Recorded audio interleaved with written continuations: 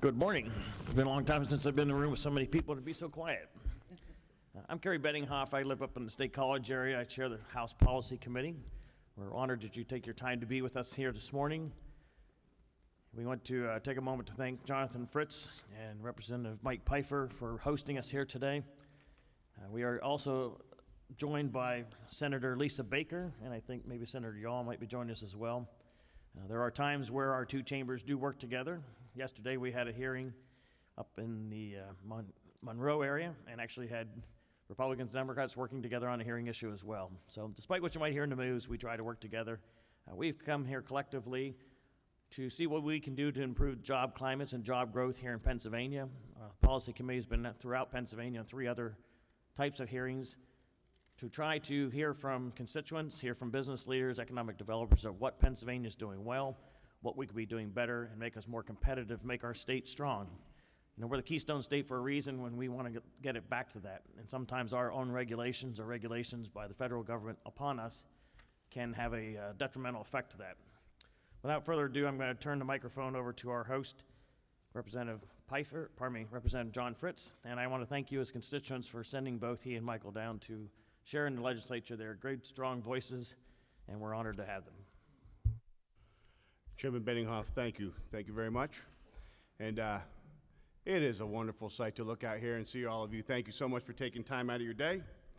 It is in the spirit of sincere gratitude that I acknowledge Barb Korteling and Camp Ladore for being the most gracious and accommodating hosts. We have a strong coalition. This is wonderful. As I look to my left and I look to my right, we have a strong coalition of colleagues present. So, colleagues, thank you. Senator Baker, thank you very, very much. And, uh, to you folks, the constituents and taxpayers that took time out of your day to join us, you are, a, again, a wonderful sight, and I truly appreciate your being here. Chairman Benninghoff, you and your staff are top flight, and this event came together in the smoothest manner. For that, thank you. We're here today to discuss the DRBC's proposed permanent ban on natural gas drilling in the Delaware River Basin. And it is noteworthy, folks, it is noteworthy that there are a few testifiers absent, namely the governor's office, DEP, and DRBC. Those three individuals and agencies were invited to be here, and they declined. I look forward to testimony in the aim of creating awareness and dispelling any myths and untruths. And for the sake of, of background, I'll speak to the Delaware River Basin, which is 14,000 square miles. There are other basins within the Commonwealth. We have the Great Lakes Basin, we have the Potomac River Basin, we have the Susquehanna River Basin, and as well the Ohio River Basin. Across the Commonwealth, folks, landowners are prospering from the natural gas industry, farms are being saved and reinvigorated, and small towns are back to work. PA has the most rigorous oil and gas laws in the nation, and I believe that we can protect our environment and develop this resource responsibly. Our landowners in the Northeast deserve the same opportunity. So again, thank you very much for being here, and uh, I hope everyone finds the testimony to be fulfilling and create awareness. Thank you. Chairman Benninghoff.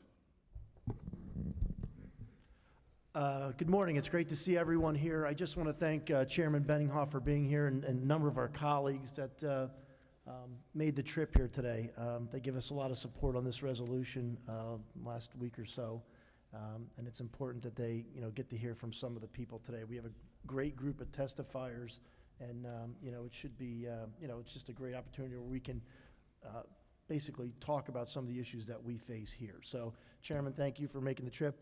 Uh, Chairman Benninghoff is, uh, you know, when I first met him about 12, 15 years ago, uh, we, were, we were studying the flooding of the Delaware River. We were down in Monroe County, and uh, I met this gentleman who got off the bus, and he shook my hand. And he said, "Well, he said, I'm glad you're going to be a part of, uh, you know, coming to Harrisburg." And he said, "He goes, I don't know, but he said, I don't think I'd build my house in this floodplain to begin with."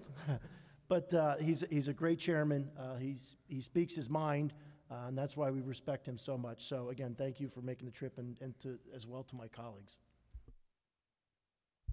A couple housekeeping things before we start. If you have cell phones, please put them on vibrate. That interrupts. We are being videotaped. This is provided so that our members can review that we're not able to join us here, and also you, the public. Uh, this will be made available to you. I think uh, Representative Fritz outlined things very well. We try to have a very strong, balanced hearings for the testifiers, and we are saddened that some of those that were invited to be part of this and be part of the dialogue in an open, transparent manner chose not to be here. Uh, last, if I would, I'm going to ask the members from my right to my left to just introduce themselves and where they're from, give you a little bit better geographic bound uh, outline area, uh, pardon me, outline from where they're from. Then we'll start with our pan- first panel. Thank you, Mr. Chairman. I'm Stephen Bloom, State Representative from Cumberland County. Hi, good morning. Bryan Cutler from the 100th Legislative District, which is southern Lancaster County. I also serve as the whip for the Republican Party and have the privilege of having Representatives uh, Fritz and Peifer both as deputy whips. So thank you very much for sending them to work with us. Hi, good morning. Representative Aaron Kaufer, 120th District in Luzerne County. Good morning, State Senator Lisa Baker of the 20th District, which includes Luzerne, Wyoming, Susquehanna, Wayne, and Pike counties.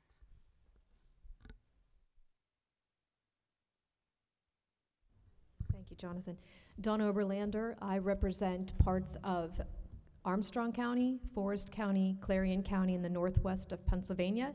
I'm a member of our leadership team as caucus secretary, and I am the uh, co-chair of the Gas and Oil Caucus.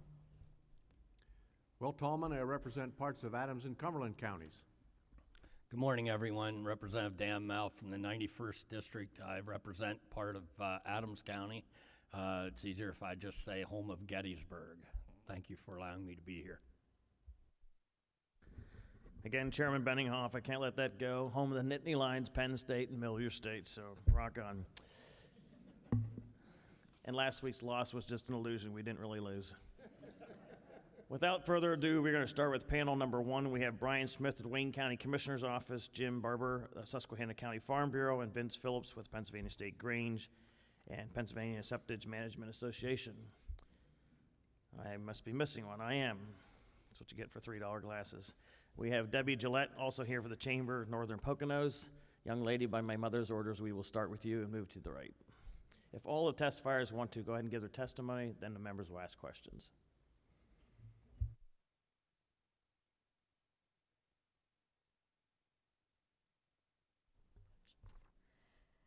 Good morning, Chairman Benninghoff and honorable committee members and Senator Lisa Baker. I would like to take this opportunity to welcome you to the Northern Pocono Mountains and thank you for granting us the opportunity to testify here today. My name is Debbie Gillette, and I am the Executive Director of the Chamber of the Northern Poconos.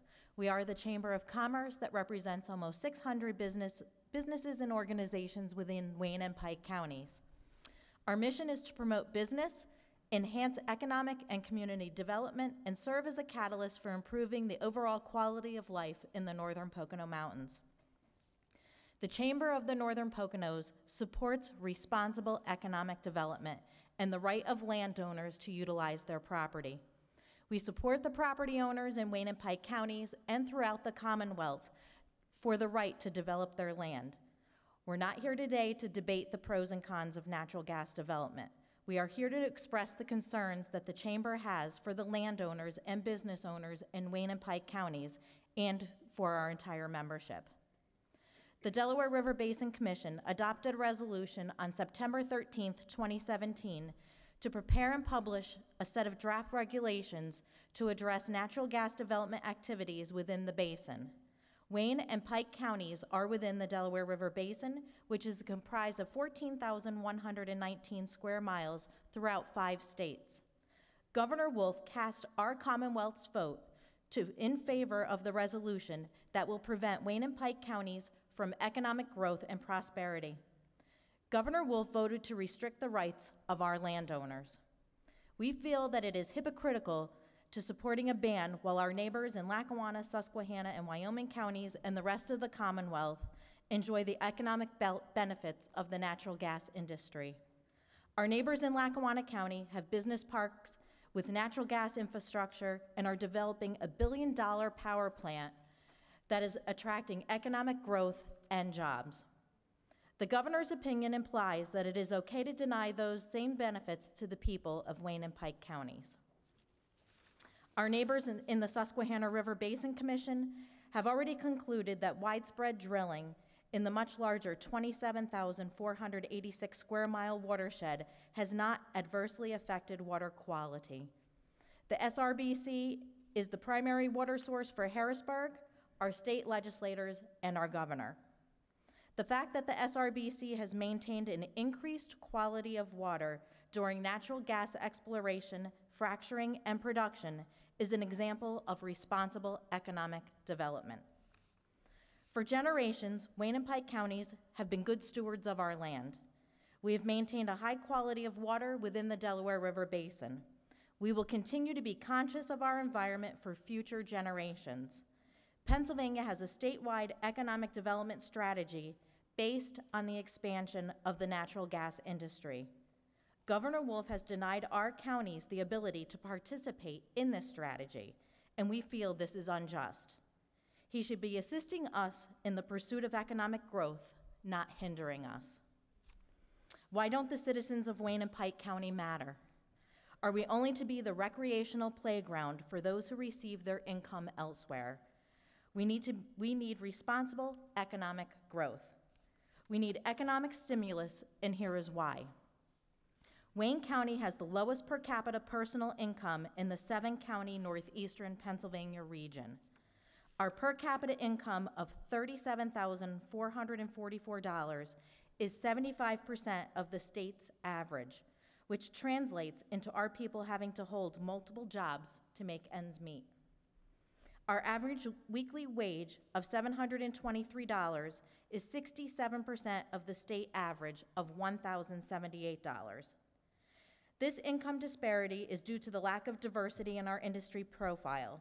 We are very top heavy in low wage industries and lack the traditional economic engines, such as higher education and large corporations, to turn this around.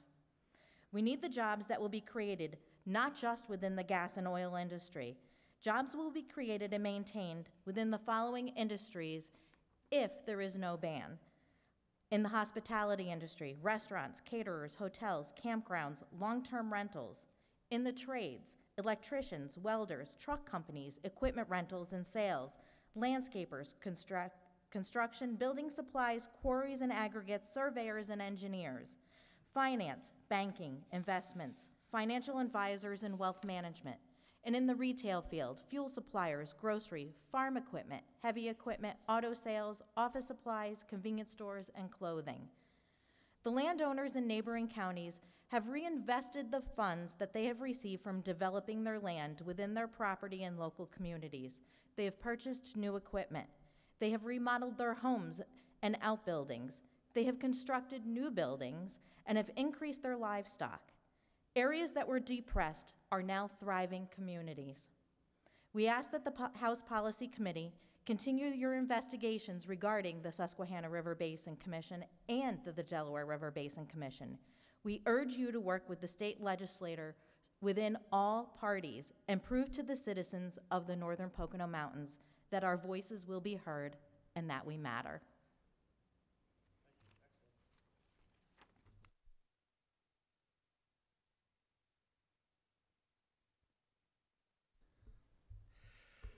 I'm Jim Barber. I'm a farmer from uh, Susquehanna County. I'm the vice president on Susquehanna County Farm Bureau Board. I'm also the District 1 uh, state representative on, on our uh, Pennsylvania Farm Bureau Board, so I represent Wayne, Pike, Susquehanna, Wyoming, and Lackawanna counties. Uh, I'm here to uh, actually, as I echo the things that have already been said, I can speak more by experience. Uh, I am in the Susquehanna River Basin, and uh, we've been watching in our area the development of the gas industry. Uh, and on a personal testimony, uh, we were growing produce on our farm and some hay, and our son and daughter in law and grandchildren were with us. And as farming is today, it's very difficult to make a living. Uh, when the pipeline uh, was first coming across northern Susquehanna County, when it crossed our farm, our son hired on, and that was about seven years ago.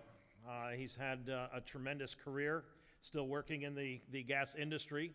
Uh, added more grandchildren and bought a house, now bought another house, and, and uh, farming can't support that kind of, of, of income as what's available today in the gas industry. And so it has made an economic difference in a lot of ways in our area.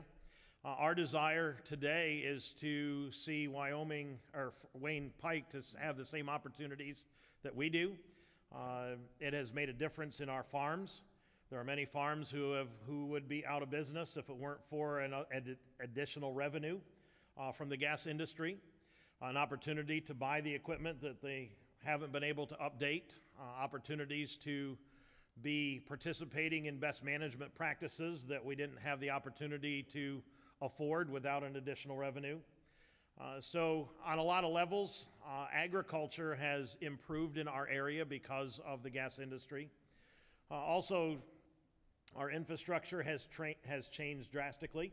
We have the best roads now that we have ever had uh, because the gas industry fixes, rebuilds, and takes care of our, our roads. Uh, a lot of our local businesses have grown, they've hired more people. Uh, our, our service stations, our gas stations, all of our, our eateries, and, and uh, there's just a lot of economic expanse uh, in our area because of the gas industry.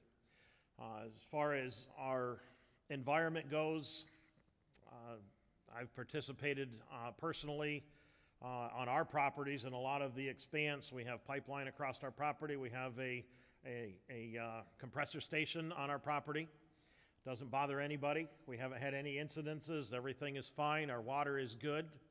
I know one of the things that uh, often attracts a lot of attention, uh, but I would say that uh, people have been lighting water on fire in our area for the last hundred years. It's nothing new. And so, uh, from a positive perspective, I've seen tremendous uh, impact in our area uh, from the gas industry. We appreciate what's going on in the Susquehanna River Basin Commission, and uh, we need fuel, we need food. Uh, this is an opportunity to help the farmer provide the food and provide the fuel uh, that we need for our country. And so, my desire is to help support the farmers who are largely the landowners uh, that are, are of greatest impact uh, in Wayne Pike counties and to see that they have the same opportunity that we do uh, to make a difference. So thank you for being here. Thank you for the opportunity.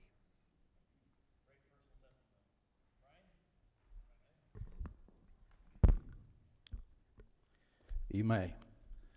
And thank you for all being here. I first want you to know who I am so that you uh, can understand where I come from and you can understand the kind of people that I represent. I get up 3:30 every morning. I go get my cows. My son-in-law goes with me. We put them in the barn and milk them. And because you can't just make a living on a dairy farm anymore, I drive a school bus. My son in law is a, a, surveyor, he goes off to work. We work very hard all day at a second job or a third job just to keep our farms going. This is the kind of people that I represent in Wayne County. This is the kind of people that largely own land, that largely work here. They have this kind of work ethic. They appreciate freedom. They appreciate their rights. And they feel that they've earned these rights because these are the environmentalists. These are the people that have worked hard for the water quality that we now have. Water quality was not simply produced by EPA or DEP or the DRBC. This water quality was produced by people who care about their land, people who are township supervisors who care about stormwater runoff, conservation districts who care about the people that work with them and they work with in, in voluntary cooperation. NRCS, who has worked with farmers for years to implement best management practices. These are the people who are responsible for the water quality that we have here in Wayne County. Except for one thing we never saw coming. We never saw the fact that we bought into a situation that created water quality that was more of a penal process than it was a congratulatorial project, project or a feel good project. Because what happened to us, and it's in the papers I have today from the DRBC, and they speak to how they've created exceptional value water, and they may have played a small part in that, and I won't say that they won't. They didn't. But with exceptional value water, Mr. Benninghoff, comes an elevated designation, an elevated um,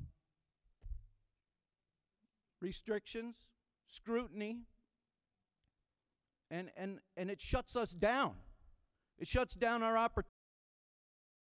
That when we start talking about these um, resolutions, when we start talking about these uh, things that I have here, and I got plenty of copies, I'm going to hand them out to you today.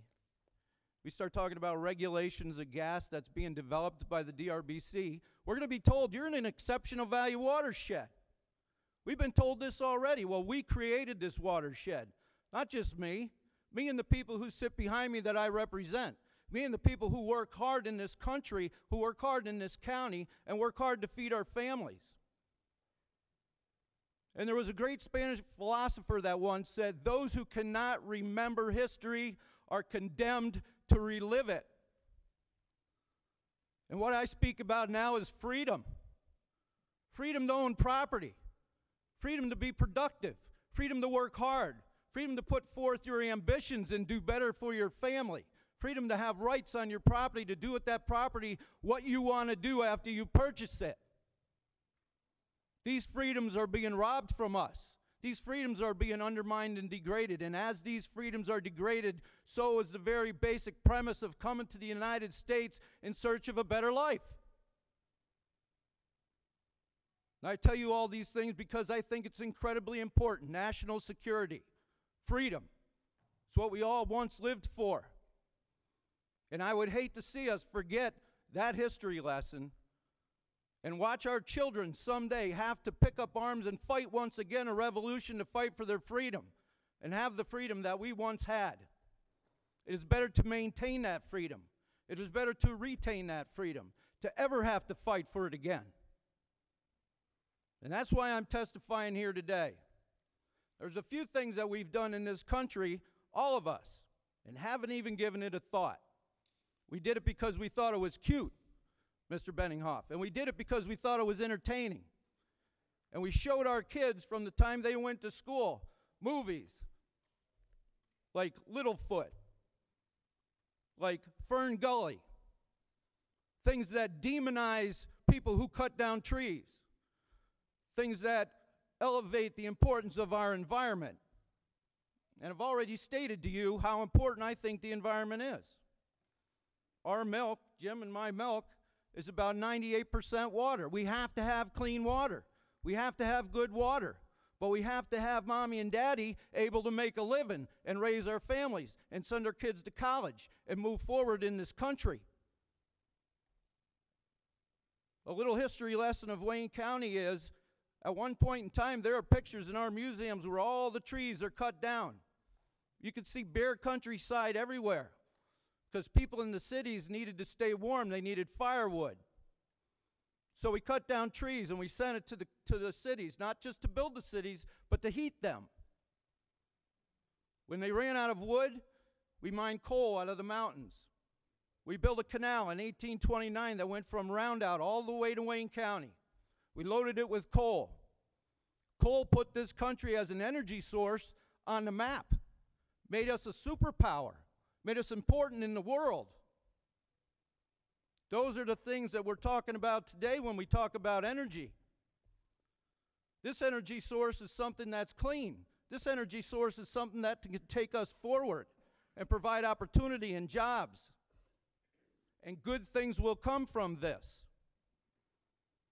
Many people, when they think about oil, think that oil is dirty. Well, I just recently this summer went to Titusville and I learned a few things about oil. First of all, crude oil, you can drink it. Most people don't know that. The Indians consumed it to help their bowels. They rubbed it on their skin to keep the mosquitoes off of them. The Indians are the ones that invented crude oil and, and found it and, and used to soak it up in cloths off the top of the water because that's where they found it on the top of the water. They would then wring the cloths out. They found out they can burn it and use it in lanterns. They traded it to the Indians, or the Indians, I'm sorry, traded it to the settlers who took it back to the cities. When they found out that they were running out of whales and whale blubber, there was more of a push to go see if they could tap into this oil resource. When they tapped into the oil resource and found that they could capture in large quantities, that saved the whales. It wasn't Greenpeace that saved the whales. It was the Indians and the people who discovered crude oil. They stopped killing whales for blubber, turning it to oil, using it in lanterns, and started using oil. Just a simple lesson in how something that is looked down on in many different instances did so many positive things. Look at the positive things that natural gas has done so far.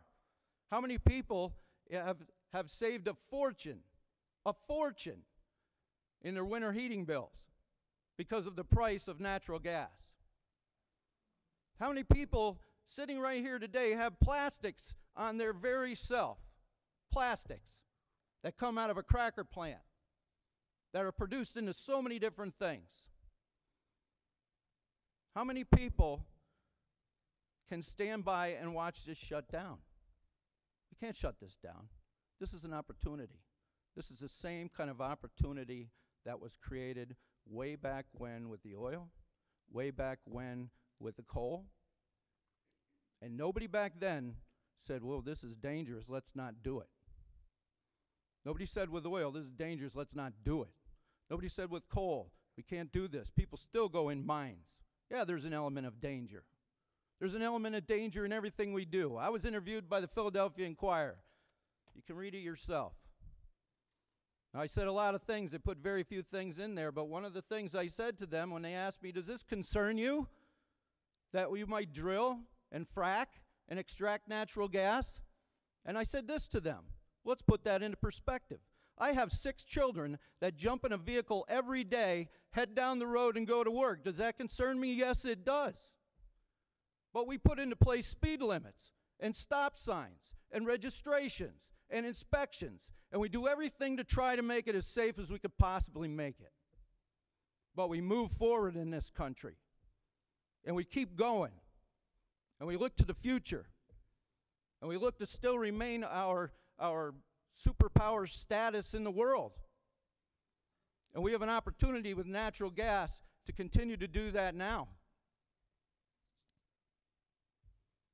So I say this let's talk head on about safety.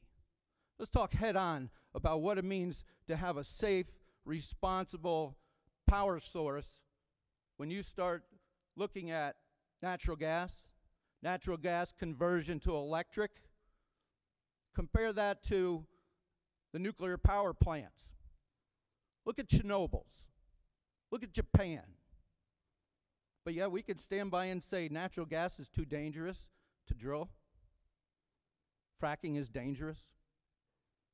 When you look at a nuclear power plant sitting in Oswego, New York, on one of the largest freshwater bodies in the world, and think that maybe that could be safer if that was a, an electric generation plant fired by natural gas. Three Mile Island, that almost had a problem once before. And look at the populated areas around there. And again, related back to Chernobyl's, acres and acres, hundreds of acres of land, thousands of people displaced because of dangerous power. But yet we look to somehow shut down natural gas? Why? What are we thinking? Those who forget history are condemned to relive it. We have to move forward in this country. We have to have a balance. When we're teaching our young children how important the environment is, we need to also be teaching them that we need jobs, we need industry, we need to be important in the world, we need to be productive, we need to have ambition, we need to work. And to work means success. And that has so many tangible arguments, I could be here all day. But again, I want to say for the record, I believe in our environment. I work with our environment every day. I need clean water. I believe we can have clean water, a clean environment, and industry. Technology is something that has evolved so quickly and so far so fast that why would we ever put a permanent ban on anything? The evolution of water treatment. Incidentally, I am on the gas task force for the County Commissioners Association of Pennsylvania, and that's why I went to Titusville, and that's why I've heard all these different presentations by gas companies and about regulation and controls, and I'm fairly knowledgeable about them. But because I'm involved in that, I also get presentations all the time by people who treat water water treatment, wastewater treatment, flowback. All of this has evolved so far, so fast, and in a positive way. Why would we ever put a ban on something? We can all remember what it was like when we were children, and we were all asked to shut off our phones. You know, this is Dick Tracy shit, right? Nobody ever thought it would happen. But we've evolved so far so fast, we can't ever ban things in this country, particularly when it has so many positives attached to it. So I do have for you today copies of the DRBC's paper that they put out on natural gas development background information. This was a, a DRBC news release, September 13th, 2017. They talk about why they're involved, so you'll have a copy of that. I also have a copy of a September 11th, 2017 announcement, and it talks about the revolution that they're going to, or the resolution that they're going to vote on on the 13th. That was passed. I also have copies of the resolution for the minutes, so you know what the resolution actually says. And I have a copy of frequently asked questions that is published on the DRBC worksheet and on their website. And in, in, in these resolutions, where they talk about developing natural gas regulations, it does say, now there be it resolved, now therefore be it resolved, by the Delaware River Basin Commission that no later than November 30th, 2017, the executive director shall prepare and publish for public comment a revised set of draft regulations to address certain natural gas development activities within the Delaware River Basin. So let's hope that happens. Number two in this does say the draft regulations directed by the resolution shall include and seek comment on prohibitions. It doesn't say a ban, it says prohibitions related to the production of natural gas utilizing horizontal drilling and hydraulic fracturing within the basin. It goes on to talk about more things. Provisions for ensuring the safe and protective storage, treatment, disposal, and or discharge of wastewater within the basin associated with horizontal drilling and hydraulic fracturing for the production of natural gas where permitted. That suggests to me that we all need to stay tuned that we all need to stay engaged, that we all need to develop meaningful comment and meaningful commentary. Because maybe this isn't a ban. Maybe this is something that is just going to be balanced. I hope so. I hope I don't have false hopes. But I would also maintain that after this becomes regulations, there's a downside. There'll be a vote. And they'll vote the regulations in or they'll vote them down. So again, we need to stay tuned, we need to stay engaged, need to have meaningful comment. We need to be aware, we need to be educated, and we need to stay up to speed on what's going on. In the frequently asked question, this is where I'm going to end it. It does say here on the third page, and you'll all have copies of this. The public is asked not to prejudge the proposed rules before their publication. So I'm trying not to judge the rules before their publication. But I am saying that I appreciate the opportunity to testify today. I am saying that please try to appreciate the people in this country who still hold fast to the values of hard work, the values of family, the values of moving forward, prosperity. And please keep in mind that what this gentleman is true, said is true. Our farms cannot simply survive today on the price that we get for milk. Their farm's doing pretty good. Our farm is suffering. I have next generations, and this bothers me, I'm sorry. I have next generation farmers on my farm who want to continue farming, who can't afford to do it. Can't. So they're working two other jobs to keep going. This is an opportunity for agriculture today.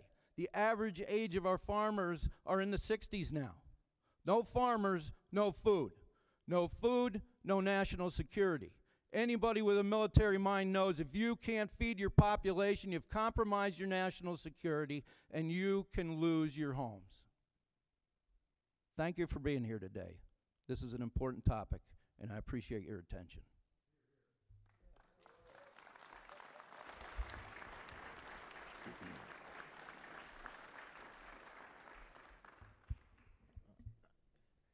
Before we uh, have Vince Phillips, I have to say I've sat through a lot of hearings over my years and listened to a lot of people passionately plead, but I will tell you, Brian, Jim, and Deb, your testimony has made this country boy's life better.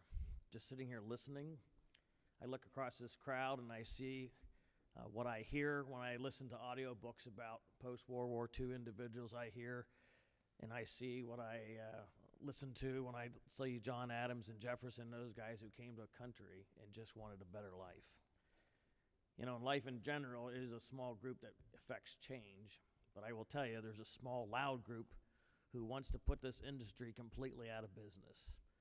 They work diligently day in and day out to just squash the natural gas industry, to put a severance tax on because they think that they're owed something. I'll close these comments in reminding myself that uh, it is the farmers, the hunters, and the fishermen who were and always have been the greatest naturalists and the greatest environmentalists and the protectors of the land. And I think your testimony reminding us consumers who have don't even understand where the products we consume every day come from. Everything we use in our life is either grown by a farmer or mined out of the ground. Period. Let's continue on with our testimony, but I want you to know that you have improved my life just sitting here listening to your words, and I thank you for that. Vince, tough act to follow, but good luck. Good morning. Now that I know that, that your day has been made, what could I possibly say that would darken your day? Uh, that you're from Gov- you're from Harrisburg and you're here to help us. Well, shucks, it's the least I could do. Yeah. Well, good morning, everyone. Uh, Mr. Chairman, uh, Representative, Senator, I'm very glad that you held this hearing. I think it's very, very important. For the record, my name is Vince Phillips. I'm a registered lobbyist. On, I'm speaking today on behalf of two organizations. One is the Pennsylvania State Grange. The Grange was founded in 1873 to be a, an advocate for farmers and other rural residents. There are 61 local Grange chapters in the Delaware Valley Basin. So you can see there's a lot of impact on the members of that association. The second association is the Pennsylvania Septage Management Association. Those are the folks that deal with on-lot septic systems, but they also do other things too. For example, transporting waste from municipalities, all of which are uh, border the, the Delaware River and its tributaries.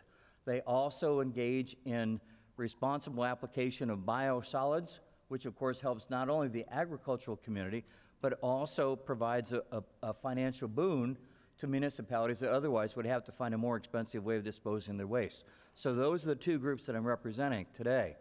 Now, I have to tell you, we're very, very concerned about what the, the Delaware River Basin Commission has done. It's our view that they overstepped their bounds to do things that they really should not have done. Now, what I'm going to do is just talk briefly about the economic impact. I doubt, frankly, I can give as, as inspirational a speech as my predecessor. You know, that was very impassioned, but also very substantive. And I appreciate that, so I'm not going to try to do better than that, because I can't. but I, I, would tell you, though, that an economic downturn in the Delaware ba River Basin is going to have some very strong, long reaching impacts. It's not a matter of just one county or two. It's a matter of 11 counties. And they include snippets of Lackawanna County, Schuylkill County, and even Lebanon County to the south. So we're talking about a huge area. I went to the, the, the Basin Commission's website, and I was able to find a map that showed the counties included in the basin but also showed an overlay of the, the potential fracking that could occur, i.e., where is there Marcellus shale deposits that could possibly be tapped for natural gas. Two thirds of the ground area of the basin is fracking possible material. That's where the shale is. It's not limited to one county or two, it's two thirds of the entire basin. So if anyone from the Basin Commission or some of their advocates were to say, oh, this is a de minimis sort of thing, I would respectfully disagree. I would say that it has huge economic impact, frankly, in about one fourth of the entire Commonwealth of Pennsylvania. Now, others before me, and I apologize for coming late so I didn't get to hear it, but others doubtless talked about the economic impact of Marcellus Shale and what that means in terms of jobs, and not just direct jobs, but also the, the spin off jobs that kind of feed into that industry. They probably also talked about the impact fees and the financial contribution made by natural gas development to the infrastructure of municipalities and counties. Can't say that they did, but I'm assuming that they did. And Debbie just nodded her head, so I guess I, I guess I got it right on that one. But I would tell you that there's a huge impact here in this basin for economic development. If fracking is allowed to proceed, independent of what the Delaware River Basin Commission wants, you can see a real resurgence in this part of the state uh, that other parts of the state have already seen. And that helps Main Street, as well as helping energy companies, as well as helping the taxpayers. I would suggest to you that the authority spoken by the, the Delaware River Basin Commission, the authority is not on sound footing.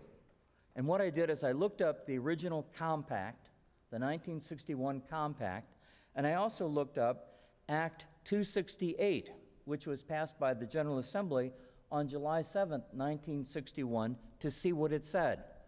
And yeah, there's rhetoric in there that basically says that the, that the commission has a lot of authority, but there are other sections that seem to be ignored by the commission. For example, Article 1, 1.3 Purpose and Findings says the purpose of this compact are to promote interstate comity to remove causes of present and future controversy. Well, I have to tell you, this is not the way to go about achieving comity or reducing uh, future controversy. Um, cooperative planning? Anyone? No, what I see is an arbitrary exercise by an unelected body. That's what I see. Now, I will tell you that some would say that I'm playing semantic games. So let's, and I would say that, uh, of course, that it violates the spirit of the Interstate Compact. But semantics aside, digging a little bit deeper, there is another section, Article 5, Pollution Control. Nothing in this compact shall be construed to repeal, modify, or qualify the authority of any signatory party to enact legislation or enforce any additional concerns and restrictions to lessen or prevent pollutions waters within its jurisdiction. To me, what this says is that there's a role for the Pennsylvania General Assembly. Now, I don't know what it says to you, but that, that message comes to me very loudly, very clearly. And it says there are limits to the authority that the Commission has tried to take on for itself. Now, what's my backup of that? The backup is Act 13. Act 13, as you know, set forth the regulatory framework for natural gas development in Pennsylvania. And everything's in there. And of course, many of you were there when it was passed, so you know better than I do what's in there. But everything is there. Like Prego, it's in there. Uh, mandatory setbacks uh, to protect the environment, uh, bond requirements, uh, and all kinds of other restrictions, inspections by DEP, and of course, uh, coverage under some of the federal statutes as well.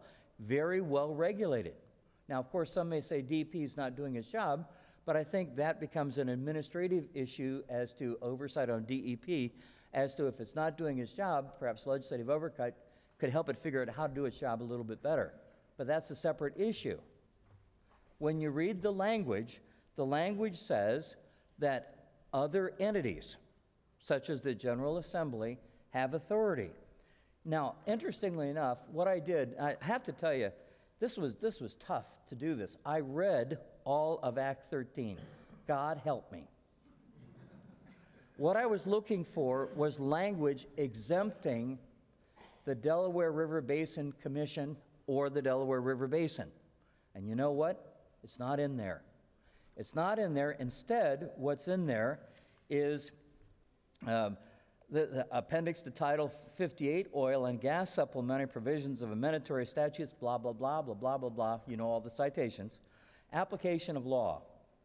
The addition of 58 PACS Chapter 23 shall apply to all oil and gas deposits and oil and gas development activities and operations subject to the jurisdiction of the Commonwealth. Doesn't it sound kind of as if the General Assembly of Pennsylvania has authority over this? Again, that's what it sounds like to me. Now, going into Act 268. Now, that's language taken from the compact.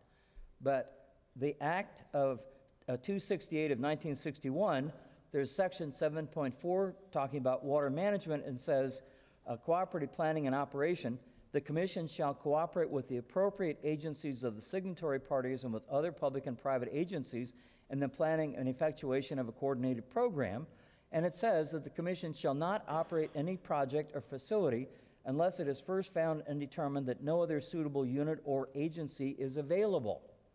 So, what I'm saying is, even if the Basin Commission somehow is recognized as having that authority, there are other state entities in Pennsylvania that are equipped to do the job, such as DEP, as I mentioned. In other words, I say to the, the, the Basin Commission, please do not usurp the legitimate authority of state regulatory agencies as well as trying to usurp the authority of the Pennsylvania General Assembly. To me, that doesn't wash. Now, what's the conclusion? And this is where it gets, in my opinion, very sad. So I'm sorry to wreck your day, and I hope you won't be crying after I'm through with you. But I have to tell you that the saddest part of this whole process is that the vote was taken by people who should have recused themselves. New York's governor, no fan of fracking there.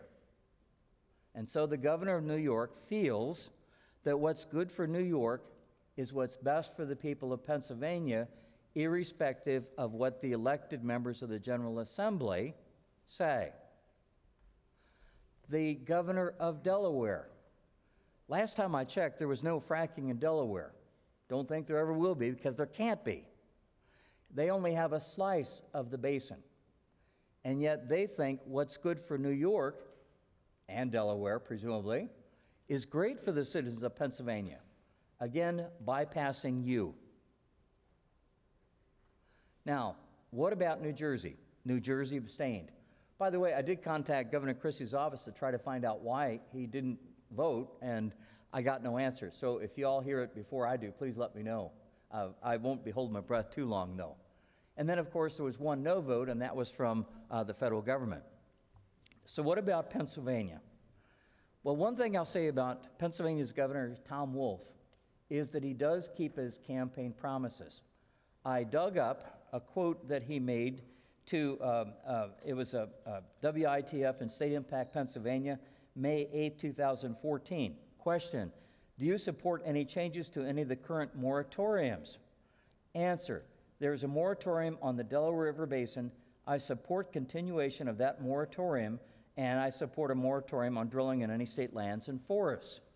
In other words, he doesn't want to see fracking or drilling or natural gas development here, even as he's quick to say, I really want a severance tax on everywhere else. You know, I find that just maybe a tad inconsistent. The other thing is, and this is really the, the bottom line to me, is that a governor of a state chooses to openly flaunt an established statute, i.e., maybe I'm the governor, maybe I like fracking, and maybe I don't, but regardless, there's a law on the books. And is this regarded by the governor as an end run? And my belief is that's what he thinks. And I think that is really the tragedy of it. Now, everyone probably has a view on fracking, pro and con. And here we talked about lots of impacts and that sort of thing. But you know, frankly, I don't care whether someone is for or against fracking when you look at the fact that a governor has abused his power by voting to do something that the General Assembly did not want him to do. Frankly, I hope you have some more oversight hearings. Perhaps oversight hearings, or maybe even legislation that says the governor of Pennsylvania cannot vote on a basin issue if it's contrary to the express statute passed by Pennsylvania. So that's my.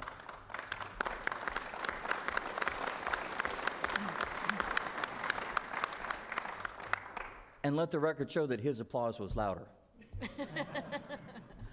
That does not give you any more minutes to talk. Uh, no, very good, Vince. I think that's a, a good reminder. And again, it's a good reminder that representative government allows the people that you folks elect to be governing you, not one executive officer. Questions? I'll start with uh, Senator Brown. Se- Senator Brown is from the Lehigh Valley. Um, Senator Baker is I just want to make sure from you, you knew that. Northeastern Pennsylvania, but, uh, yeah. um, I- I- was on a roll, too. want to thank everybody for your passionate testimony and um, for sharing specifically the information. And, and I'd like to start with Commissioner Smith, if, if you don't mind. Brian, you have passionately spoken on a number of occasions about the region and the landowners being good stewards of the environment. And you have showed examples, not just with what we're talking about today, but going back to setbacks on septic systems, setbacks on streams and, and the like. And, and so I, I, I think it's important to put into perspective that nothing that you or anyone has communicated has indicated that you think we should change the high quality exceptional value watershed status. You've indicated that we have to go through a lot of high hurdles to address that for economic development and that it should be really looked at um, on a case by case basis, that we shouldn't have broad rules statewide, that we should be looking at what does it mean specifically using best management practices. I think that's important for people to hear. You're not suggesting that we degrade the water in any way. And, and I think I, I would just ask you to address that because you have been, since I've known you, long, long champion of this is our economic development as well. And so can you talk about how you believe we, we can balance that appropriately um, at the same time, you know, protecting what we believe here? We're, we're good stewards of the environment, people here in Wayne and Pike counties. Sure, absolutely. And, and I'll use an illustration that just happened uh, not very long ago at all. In fact, is this summer. Uh, we had a, um, a, a family who wanted to put together a um, brewing company. And I think this is a perfect illustration because this brewing company is something that hires people, it's agriculture. I mean, people don't think of beer as being agriculture, but it's grain, it's growing grain, it's hops. And this affected a lot of people. And it not only affected the people that are employed there today, it affected the people who were employed in building the company, building the physical plant, doing the excavation on the property. And so what happened there was it almost came to a screeching halt. And it almost came to a screeching halt because of some very, very simple language that was in place that a little bit of difference in earth disturbance would have pushed that family into an NPDES permit, a National Pollutant Discharge Elimination Permit. The costs and the time delays that are related to that very permit on that project would have forced this family into making the conscious financial decision to go somewhere else. Now, again, I believe in our water quality, and so do they. And thank God that they made a little noise, that they demanded that it be looked at, that our conservation district and DEP actually sat down together and took notice of exactly what was going on on that property. Because the end result was DEP recognized that they didn't need a national pollutant discharge elimination permit because the disturbance that was there was not at the level that required that permit. And it was based on some decisions on the ground. So just going by the book, they would have gone somewhere else. But because they demanded that DEP meet with them, that the Conservation District meet with them, that people get engaged in conversation, the end result was going to be anyway, if they went through with it, no additional degradation to the environment. And so they were able to accomplish that uh, brewery. It's a beautiful place. They make great beer. There's people employed there. And it was because they didn't just sit back and say, well, the regulation says that's going to cost us a lot of money, we'll go somewhere else. And that's the problem is we can't have a situation where there's zero impact on the environment, but yet we're so high in our regulations that we're not looking at it on a case-by-case basis because people will end up taking their business somewhere else. And we need economic development sustainability right here. I, I think that illustrates the challenges we face here in the Northeast putting together economic development projects, and, and I appreciate that. And the reason I ask you that question is as, as someone, whatever your position is on natural gas development, the decision by the DRBC to define what a project is, what a project is in this watershed, not only could it potentially impact oil and natural gas development, but it could impact the agricultural community. It could impact business across the board. And so the development of a project is significant, and, and I think you illustrate how that can be for us to knowing moving forward. Um, we, we also um, need to look at, and, and as someone who represents Susquehanna County, Jim, you certainly know, we have two disparate Pennsylvania here. One where we say natural gas development can be uh, environmentally done in an appropriate and safe manner over one ridge top. So if you live in Susquehanna County, you can look at your neighbors in Wayne County. Um, I, can you speak to um, that issue and, and, and the water quality piece because I know the Susquehanna River Basin Commission has put in place monitoring um, of water wells and water throughout the basin since the development of oil and natural gas. And they recently issued a report that indicated there was no impact to the water quality. And, and so people want to talk about water quality. Let's have that conversation if you wouldn't mind. Sure. Be glad to speak to that. Uh, the regulation process that we've seen, and again, I can go back to personal experience. Uh, we do have a about a mile of pipeline that goes across our property. We have a compressor station, the Snake Creek compressor station sits in one of our fields. We ended up with that compressor station on our property because the the setbacks and the requirements were so stringent that they kept coming down the pipeline to find a place where they could finally find some acreage where it could meet all of those those parameters.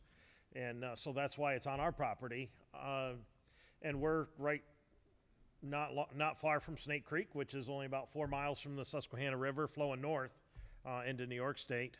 Uh, but the regulations that we've seen, uh, the inspections that we watch, uh, not only uh, at the time of construction, but ongoing. There are people back all the time monitoring uh, and inspecting. Our, we need clean water, and as Brian said, we, we have been good stewards of the land. Our farmers have been good stewards of the land. Uh, I think sometimes we get blamed for some of the pollutants that aren't our fault, but uh, we, we need clean water. We love our land, and we have seen some uh, great regulations, if you would, that maintain that. Now, I think that we get overregulated too easily, uh, but we do have quality water. We maintain quality water, uh, and everybody downstream. And as it was said before, our water that goes by us ends up going through Harrisburg. Uh, and uh, we have seen uh, no issues at all. I think that uh, the industry has been regulated uh, to a point, and I know early on there was some challenges, mostly because our area is different than any place else in the country they had worked. There was a learning curve. Uh, but since then, reality has set in. It's safe. Things are good. We haven't had issues, and uh, and I I would look to see it continue that way. And I have no no fear at all. But what if you go over that hump and come on this side? Uh, the same things would would transpire here. Uh, the same clean water, the same environmental good practices. Uh, in in our area, to begin with, there was a lot of fear. Uh, there was a lot of emotion uh, until the unknown turned into reality. And, and the more people saw what really took place and realized what it was and what it wasn't, uh, the emotions kind of went out of it and everything settled down. And, and we're seeing some real responsibility and some good clean water and good conservation practices. And uh, we have seen no, no issues at all. And I would like to see that on this side of the hump as well, if you would. As you all are aware, the Wayne County landowners have filed uh, a suit in, in federal court, and this is my final question. Um, I, I have uh, believed very strongly that our landowners' property rights um, are being infringed upon, and that this would be an unconstitutional regulatory taking of their land. Um, and, and as I said, whatever your position is on the development, these individuals in this compact doesn't give the DRBC, in my judgment, the right to take individuals' property without, and I will say, without, as I looked at the language, that the commission uh, must pay for the taking. So uh, I think, you know, that is a very significant question and concern that needs to be answered, in my mind, for the landowners of northeastern Pennsylvania. Thank you. Thank you to Senator Baker. We have uh, Congressman Bloom, then Representative Moul and Tallman. Thank you, Mr. Chairman. Uh, my question is, is for Jim. And Jim, in addition to serving on the policy committee, I serve on the House Ag and Rural Affairs Committee. So I was very interested in the impact of, of any policy on, on farming in Pennsylvania, which is our number one industry. Can you kind of contrast the, uh, or, or specify, I guess is the word I'm looking for, what farmers who are in the regions like Wyoming County where, where you can actually unlock those energy resources and use those to economically benefit your farm, what actual tangible things do farmers typically do, examples of what you can do, the scope and magnitude of that versus the farmers in, in counties where, where the, the resources are, are locked up, where the ban is in place, and the farmers can't do those things that are necessary to their, their success and their survival in, in farming. Just put some parameters of actual specifics, equipment, livestock, Sure. uh, things of that nature. One of the great things that, that we have seen uh, in Susquehanna County in our area is, is an additional source of, of passive revenue. Uh, you know, Brian spoke of, of having the extra jobs, but extra jobs take away from the farm. Extra jobs take, takes time and energy away. Uh, to have the opportunity to be a part of the, the gas industry and to receive royalties gives you an opportunity to have a check without more investment of time, which gives you more opportunity to spend time on the farm. Uh, one of the sad things, and it was already addressed, that the our average age of farmers is getting pretty old. In most places, the younger generations have already left the farm because it wasn't economically viable to stay there. And so, uh, for those of us who are maturing and are getting tired uh, with farming, uh, and just just by virtue of, of age, it gives us an opportunity to have um, be able to make some choices. Uh, dairy dairy is not a great way to go, but uh, in our area, there's a number of farms that have been able to put on beef herds that they could afford. They've been able to upgrade equipment. Uh, you know, a lot of farms that were running 30, 40 year old equipment now can buy something newer, some, some newer types of equipment to be involved in best management practices. Uh, that's been huge. Uh, there are some folks that uh, have been able to stay on the farm because economically they're able to do that. Uh, so we've seen some, some very positive things. Uh, Uh, there's been some, some new houses built, there's some new trucks driving around. It does make a difference, but it's, it's, it's a choice, is what it really comes down to. People can decide what they want to do, and we have the opportunity to make decisions with the opportunity we have. Not everybody's in, is in favor of the gas industry, but we have in our area, we have the opportunity to say yes or no. We have the opportunity, if we do say yes and it's there, we can decide what we want to do with the revenue that we get. My heart goes out to folks here that don't have the opportunity to choose.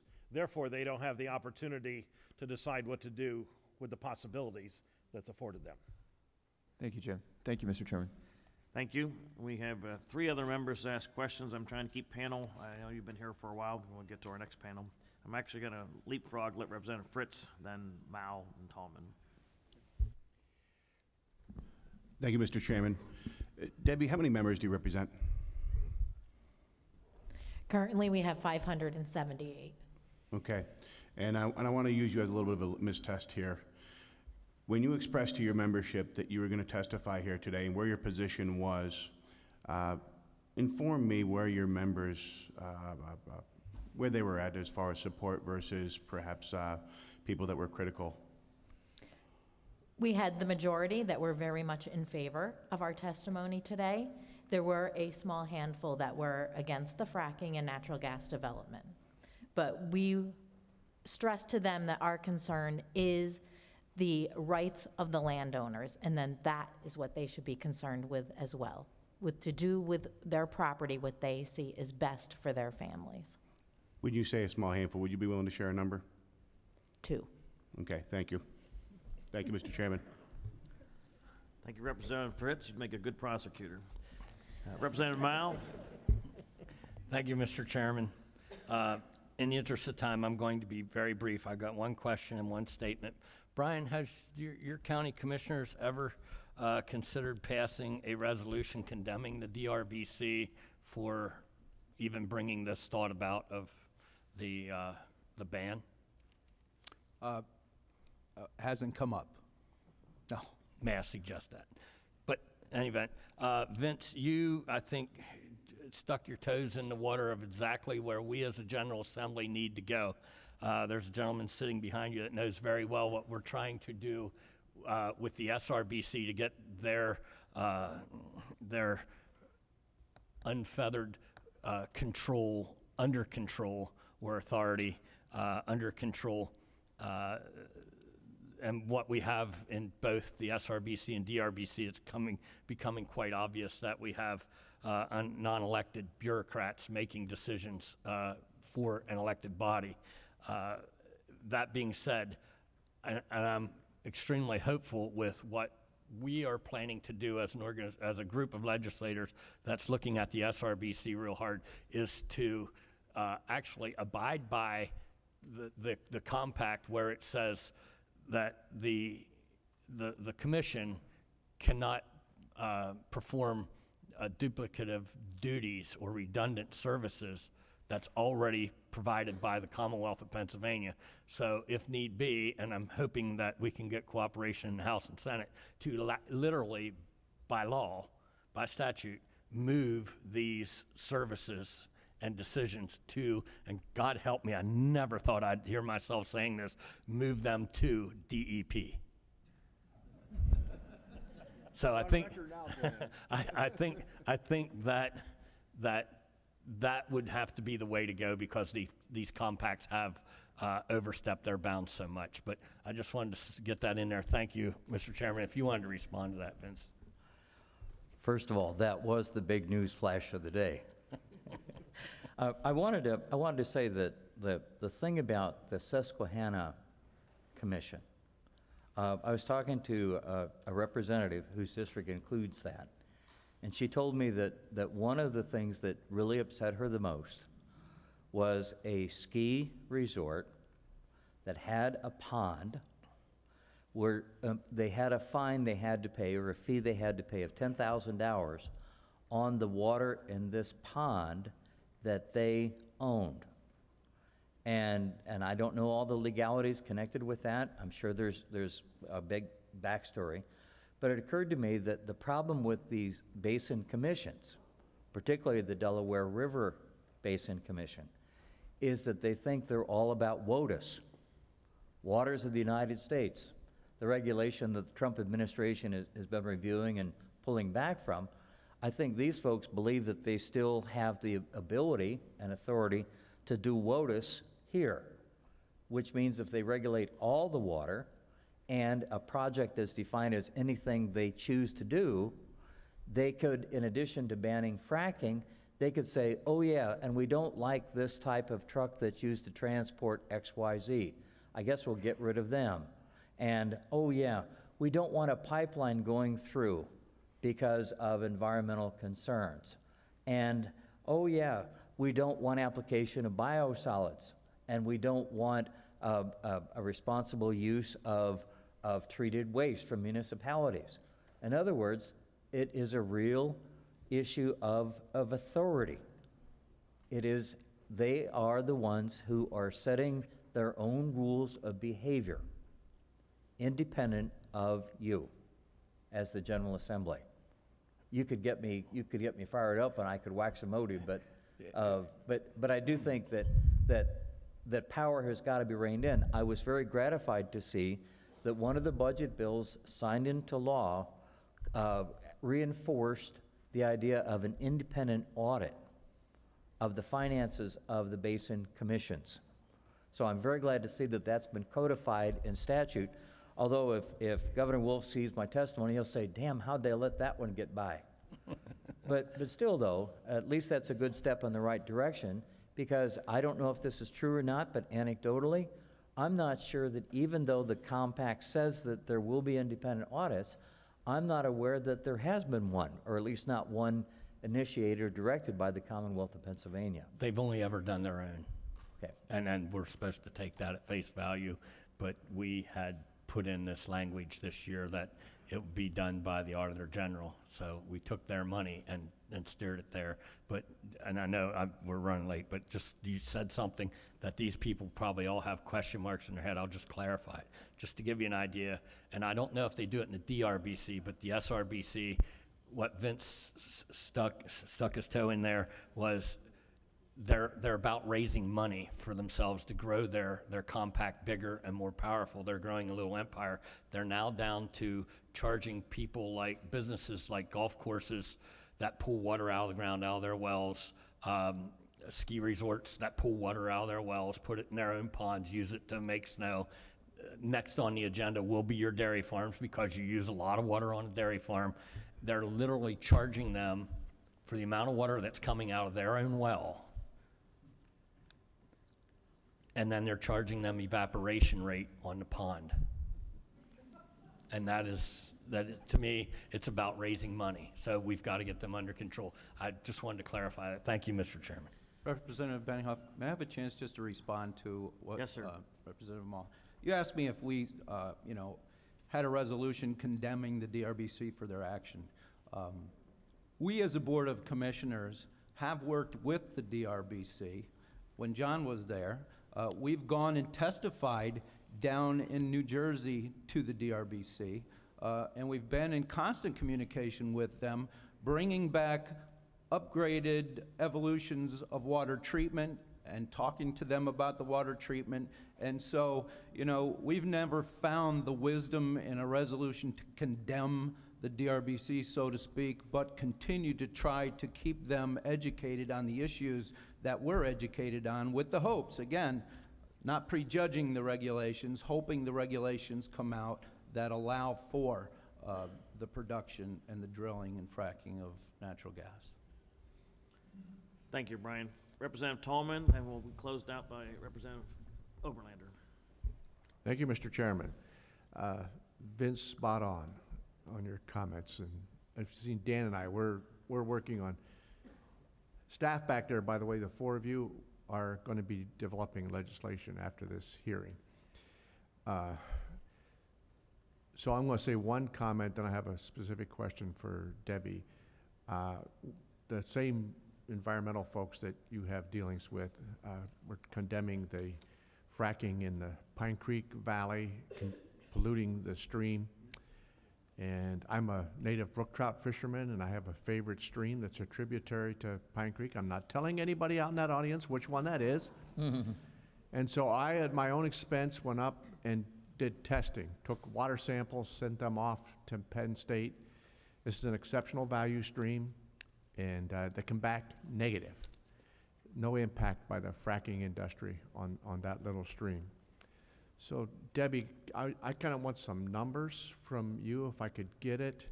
Because we have seen what has happened with, at Mehoopany with uh, natural gas and the Procter Gamble plant. Can you give me similar things that you could see happening in Wayne or Pike counties? Actually, we don't have a lot of industry currently. Our main industry, besides the agriculture, is tourism. And we actually could see this as not just an expanse on the tourism. I've traveled throughout Susquehanna County. I have a son that currently lives in Susquehanna County. I haven't seen any negative impact on your tourism industry. If anything, it's increased awareness of tourism in your area. Um, we would actually like to see our railroad be able to thrive again and build industry back along the railroad where we have empty square footage industrial space that, you know, we can have active freight again on our railroads. We could build many, many industries if the natural gas development does take place in this region. Thank you. Thank you, Representative Tallman. Representative Oberlander. Thank you, Chairman. And I want to first say thank you to all four of you. What a wonderful job you've done in testifying today. And something that one of, each of you have said has impacted my thoughts and, the reason that I said that I needed to say something. So first of all, I, I just wanted to say that I'm from Northwest Pennsylvania where we've been fracking for 150 years. Thank you, Commissioner, for bringing that up. I know that you can drink crude. I know that it's made, it's used in your makeup and your chocolate, and it's, uh, it's very important to our state's economy. Um, we have plenty of abundant, clean water and green space. I'm I welcome you to come there anytime. And uh, I would just say that in your comment, Commissioner, about when you were asked by the uh, newspaper if you're afraid of, the, of this fracking, I am more afraid of not having the fracking. And I say that because we have seen prices of gas at $14 a decatherm not too long ago, where you were literally seeing businesses having to close their doors, jobs going away. And I think that it, it, it's a true fear that if we run this industry out of business, that our other businesses will be impacted. We've seen our economic investment and job creation truly stymied in this Commonwealth because of overregulation. And I just wanted to commend all of you and thank you very much for taking a stand against the DRBC because it's not just a drilling ban. You've said it, it's not just a drilling ban. It could be your next building permit for uh, another hen sh- shed or whatever you call them. Um, it, it's important that you stand up for your freedom, and we are here standing up with, with you for your freedom. So thank you very much. Commissioner, Commissioner Smith, in a uh, spirit of semantics and maybe some levity, uh, you brought up prohibit versus ban, and I'll apply that with my 14-year-old daughter. My 14-year-old daughter is both prohibited and banned from dating.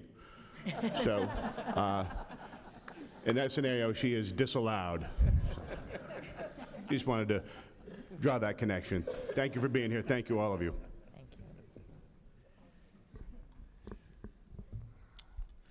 I hope your wife doesn't have veto power. Mr. Chairman? Yes. Could I, uh, could I just, uh, just make a very brief statement, though? We Um, enjoy brief statements. That concludes my brief statement, okay? A slightly expanded version of that. Um, Senator, I was particularly intrigued by, by you talking about property and landowners' rights. And it occurred to me that maybe some legal research should be done on what is property and what is use of property and what is potential use of property. Because if the compact says that land will be seized but justly compensated, it seems to me that preventing an economic use of land also represents a considerable harm to the property owner, and that potential loss should also be compensated. Now, I'm going to let attorneys figure that sort of thing out, but that, that's kind of what, uh, kind of triggered in what you said. The last thing I wanted to say is that in terms of people wanting water quality, you know, it's like where do members of the Grange live? They live next door. Some are farmers, some are business people, some are retired. How about the Pennsylvania Septage Management Association? I, I went down the list. There are probably over a hundred members of that association doing work in the Delaware River Basin. And you know where they live? They live in the basin. They work in the basin. Their customers live and work in the basin. And so those two entities, the Grange and the septic management people, have a very strong vested interest in keeping water clean and pure. We also have a very strong interest in making sure that nobody abuses their power. And that's, and I wanted to make sure that, uh, of course, that that point was stressed. But thanks again for, for holding this. I appreciate it. Very good. Thank you to this panel. Excellent testimony and very enriching and helpful to keep a good balanced perspective to everything. Thank you very much for joining us. Hope you'll stay listen to the second panel.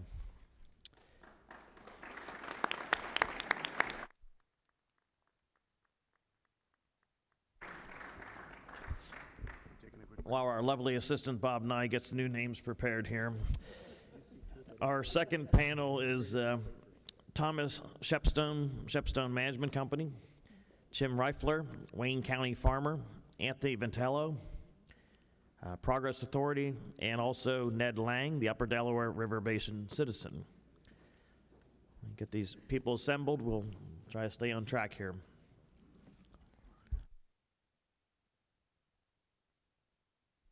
Thank you, Vanna.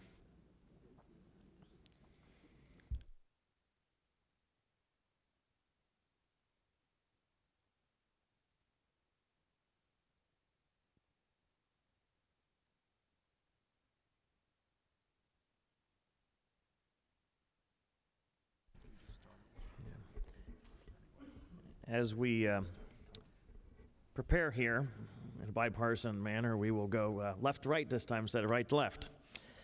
Uh, Tom, if you want to start us out, we'll continue through, and hopefully Tim can join us at the time. Thank you.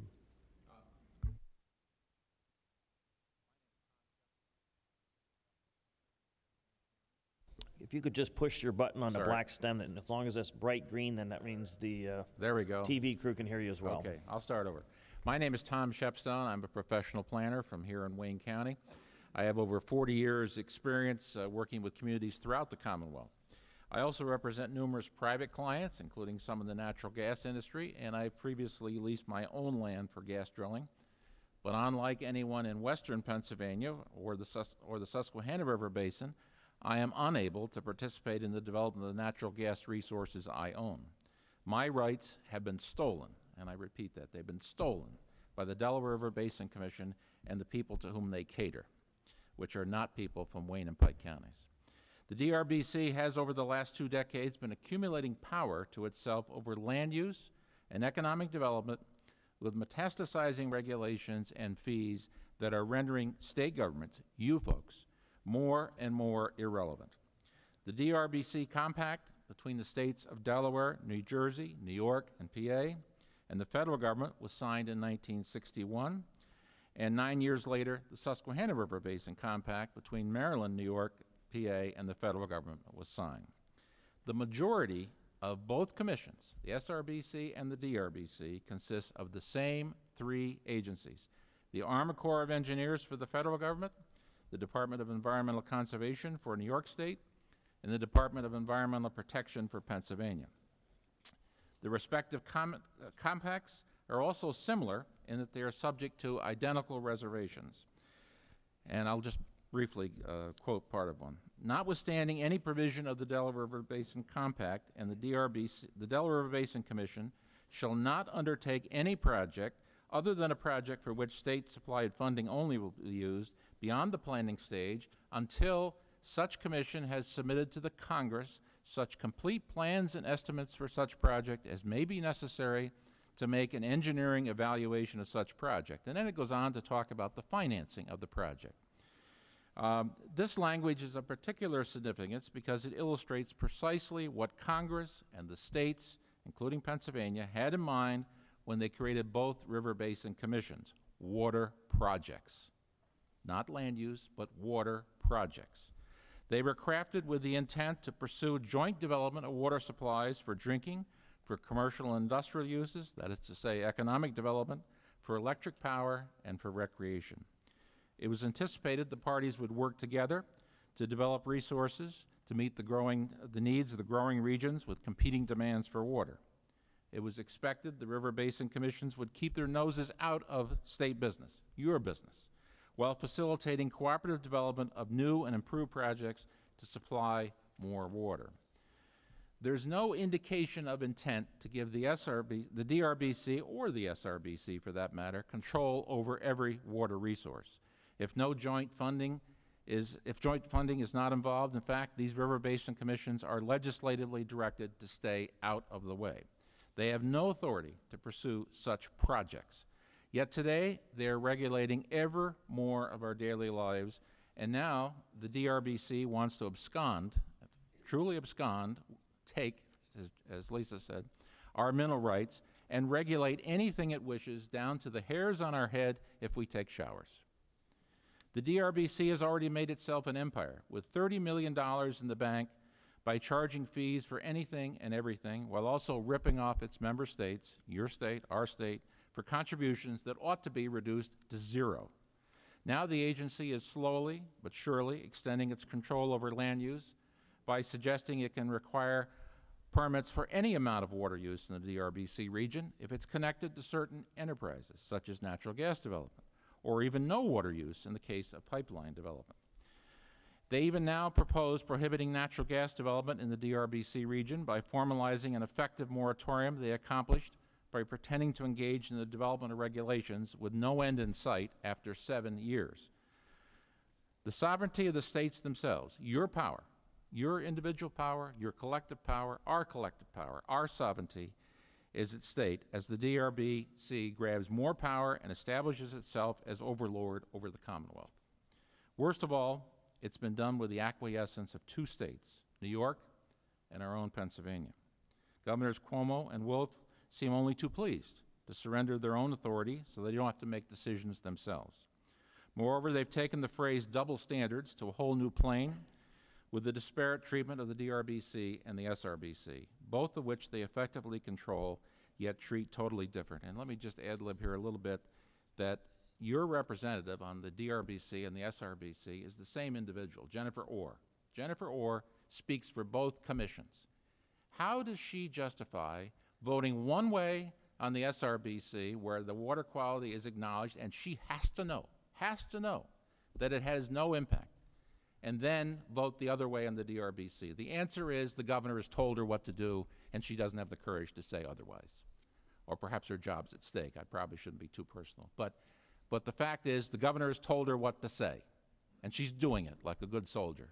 And it's wrong, and it's taking away our rights, and I share in Brian's passion about that issue.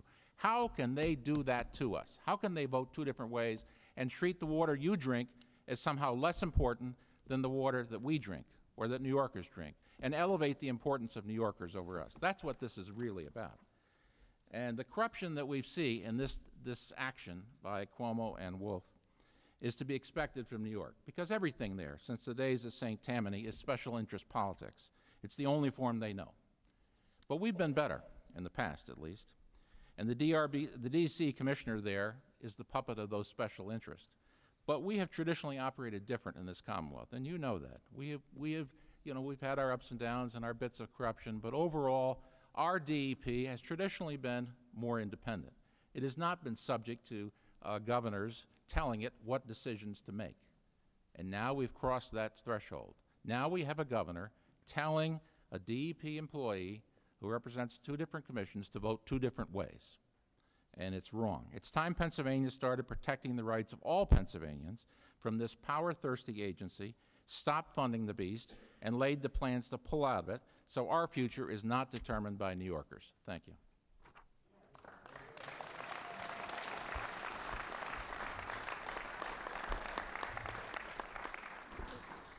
Thank you, Thomas. Uh, Anthony, if I may, and Ed, we're just going to go down the line again, let you testify, and then have the members ask questions. Thank you. Proceed as you're comfortable. Good morning, members of the committee. I thank you for the opportunity to present testimony. My name is Anthony Ventello, Executive Director of the Progress Authority. We are a certified economic development agency chartered in Pennsylvania as a general purpose authority, industrial development authority, and industrial development corporation focused by county contract in all of Bradford and Susquehanna counties. We are in our 25th year, and I have been there since the organization's formation. Much like yourselves, we are a group of private business and public officials who actively support investment and employment opportunities. Approximately nine years ago, natural gas development began in the Susquehanna River Valley. To date, Bradford and Susquehanna counties are the two most drilled upon counties with the highest production of natural gas, comprising 38% of Pennsylvania's total natural gas production. Initially, we strove to educate ourselves by gathering information and traveling to many locations in the U.S. and Canada. We have also hosted numerous visitors from Asia, the Ukraine, Australia, South America, Canada, and Europe. We aggressively pursue the impacts of natural gas development, specifically to understand its relationship to communities, our local government, our environment, education, agriculture, and economic development. Our greatest educator has been the last nine years of history. I live, work, and raise the family in the Marcellus gas play. I can stand before you as a rural professional, father, and community participant and enlighten you as to the impacts of natural gas drilling to our community and state. I've prepared and given several testimonies to citizens and legislators such as yourselves. In September of 2016, I had the honor of presenting the United States Congress Committee on Science, Space, and Technology a copy of that PowerPoint in front of you. I am not going to review it, this presentation at this time today will, uh, because time today will not allow. However, the positive community and economic development impacts are prolific. Uh, I was amazed how uninformed the Congress was with regards to the issues. Uh, as a result, much needed infrastructure has been developed in forms of public water, sewer, clean power, broadband development, natural gas distribution, two new hospitals, clean self-sufficient cogeneration, combined heat and power, and compressed natural gas public transportation. Specific funds for housing improvements and first-time homeowner programs, recreation, environmental conservation, public safety, and two new 911 centers, and the development funds that, ha- that as of this month includes a new nonprofit revolving loan program. We are now seeing jobs and investment with value-added vertical integration of natural gas for power generation, CNG, compressed natural gas, liquefied natural gas, and gas to liquids. This demands huge investment. Pennsylvania's future lies with focusing on value-added natural gas as not to treat this resource like a third world country by completely exporting this, variable, this valuable resource. We must maximize its full potential in our state. We need to develop a statewide energy policy to embrace and target its development and use. Like milk and timber, let's make cheese and hardwood cabinets before it leaves our state. A moratorium will not promote this prosperity. Uh, just as a side note, I, somebody did mention something about railroad, which I completely forgot about. Railroad has been thriving. We've seen uh, 47 miles of railroad completely replaced.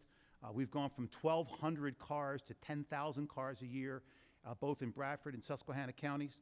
Uh, and, we, and we're seeing uh, the, the fourth of three existing transloading facilities being created in the area.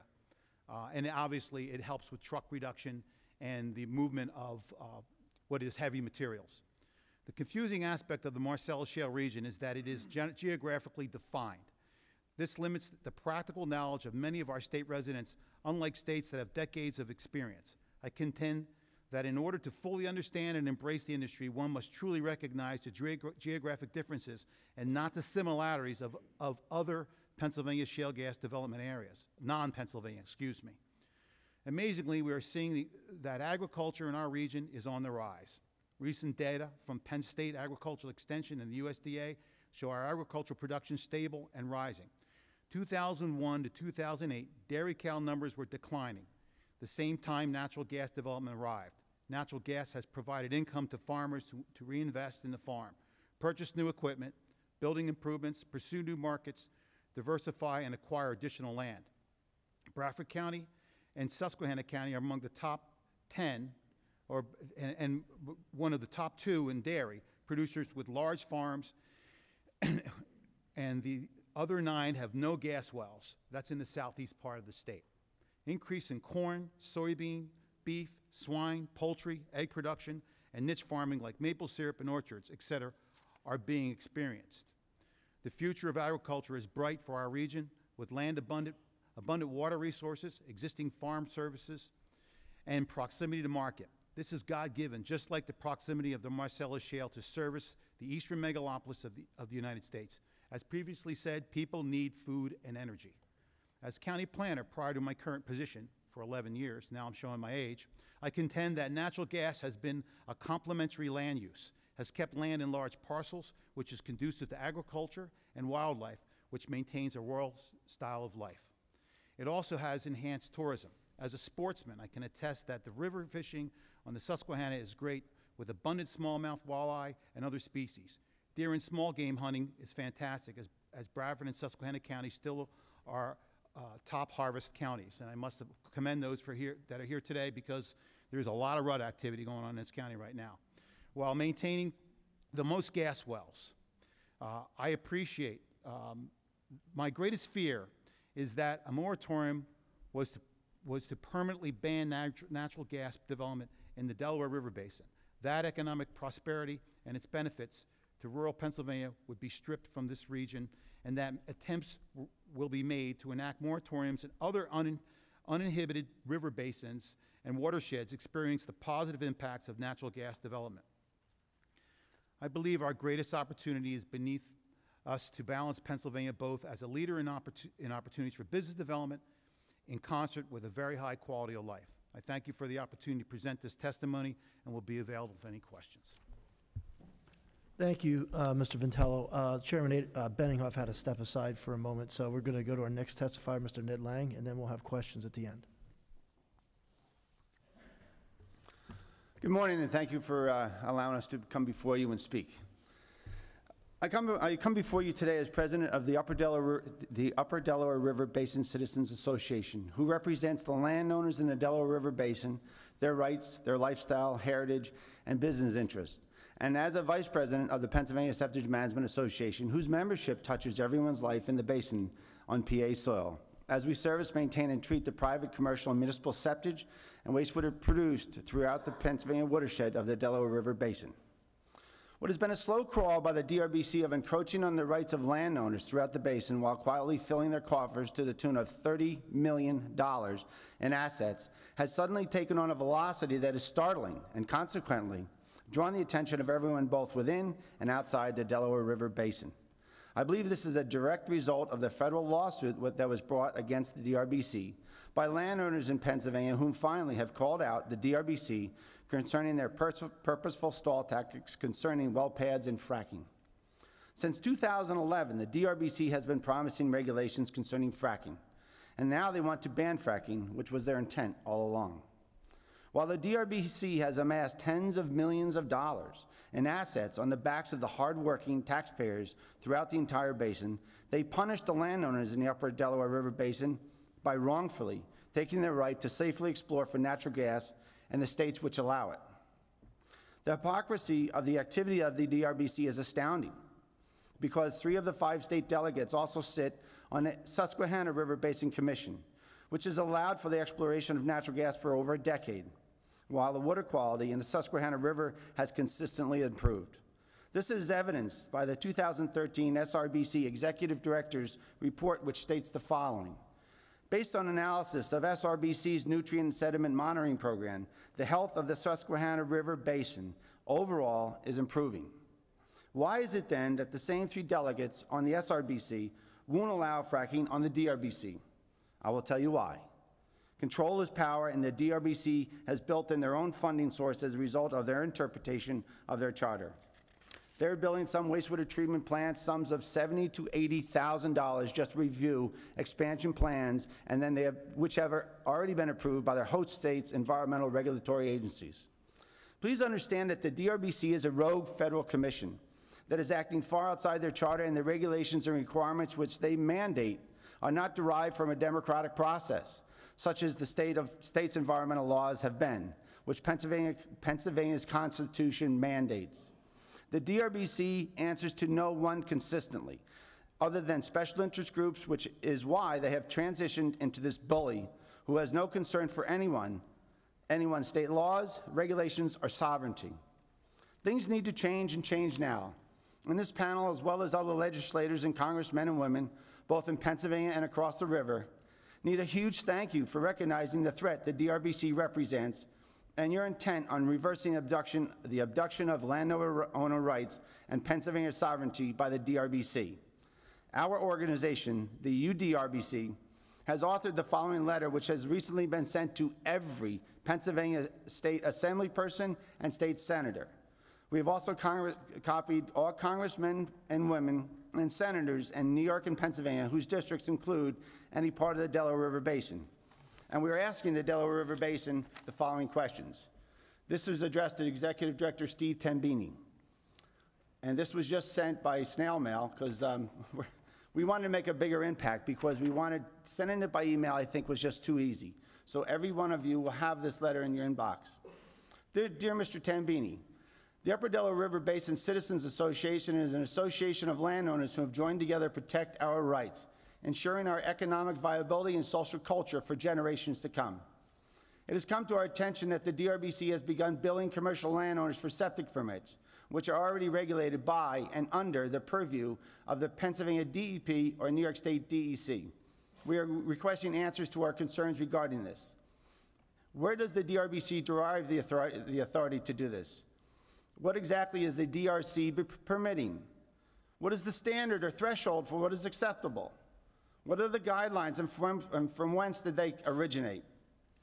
How does the DRBC arrive at the amount billed to municipal, industrial, and commercial users who have NPDES permits and are already billed for their NPDES permits by their host states' environmental regulatory agencies?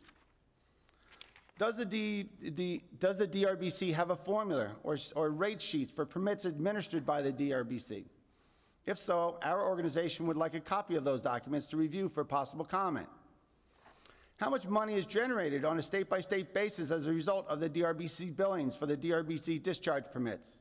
How does the DRBC budget revenue budget revenues generated by these discharge permits or usage permits? How does the DRBC justify the redundancy and the double billing for this?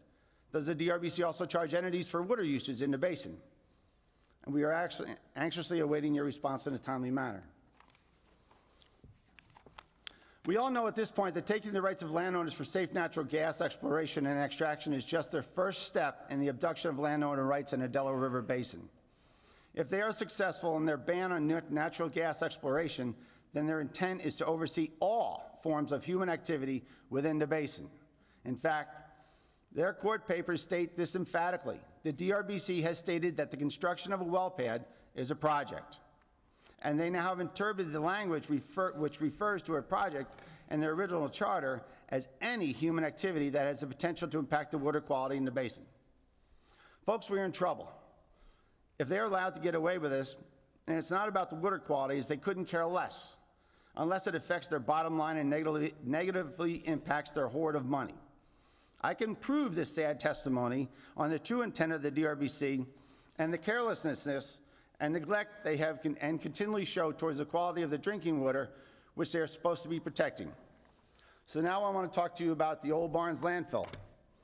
Uh, the Old Barnes landfill is a landfill that was um, started around 19, uh, late 1950s, early 1960, uh, about a half a mile from the Delaware River in Barryville, New York. I have a good sized environmental company, and in the late 90s, my company was asked to come in and assist in the closure of this landfill. Um, this landfill, when I used to work for Kittatinny Canoes, I was up there every day with the garbage, and it had every, it was an old landfill. It had old cars and trucks and batteries and refrigerators and oil and you name it. Everything went in the landfill. It was the way it was back in the day. Mind you, this landfill is on a mountain, on a mountainside overlooking the Delaware, a half a mile from the Delaware River in Barryville, New York. So my company was brought in when Mr. Lugori, his firm bought this landfill and then the DEC decided to shut it down. So his company was um, blessed, if you will, not so much, but they were charged with the, um, with the responsibility of closing this landfill. So at the very bottom of the landfill, there was a one road in, one road out. And it was very steep and very tough to get trucks in and out. And there was a there were holding tanks. There were I think 20 or 30,000 gallons in holding tanks at the bottom of the hill. and you could only get one truck in and one truck out. They had capped the landfill, but what happens in a large rain event is that you can't possibly keep up with the flow of the leachate coming out of this landfill. This is raw leachate, untreated. You can see the oil, you can. It has a lot of pollutants in it. Well, we had a big rain event, and, uh, and the water, we couldn't keep up with the water coming out of the, um, the, the holding tanks, and Mr. Legori was charged with a Class Class B felony by the New York State DEC for discharge. One event, one rain event, he was charged with a felony. Not long that, uh, after that, Mr. Legori passed away. Mr. Legori had $150,000 in contingency fees, a bond, if you will, to close the landfill. So we kept on hauling the water out of the landfill, the leachate, I shouldn't say water, the leachate. Until one day, the DEC said, uh, we're out of money. We're not gonna haul the water anymore, of the leachate. And I said, what are you gonna do with the leachate? It's not gonna stop coming out of that manhole. And it flowed right across Kittatinny Canoe's campground into their stream down to the river. Well, Mr. Lang, we're not gonna do anything, you're done, you're out. So I said, okay, so I wrote a letter to Governor Cuomo. And I addressed this letter in June 10th, 2013, It's part of your record. My office uh, submitted it to you. This letter, I'm just going to read you the one excerpt. But in this letter, I addressed every member of the uh, DRBC at that time, every member state, every attorney general.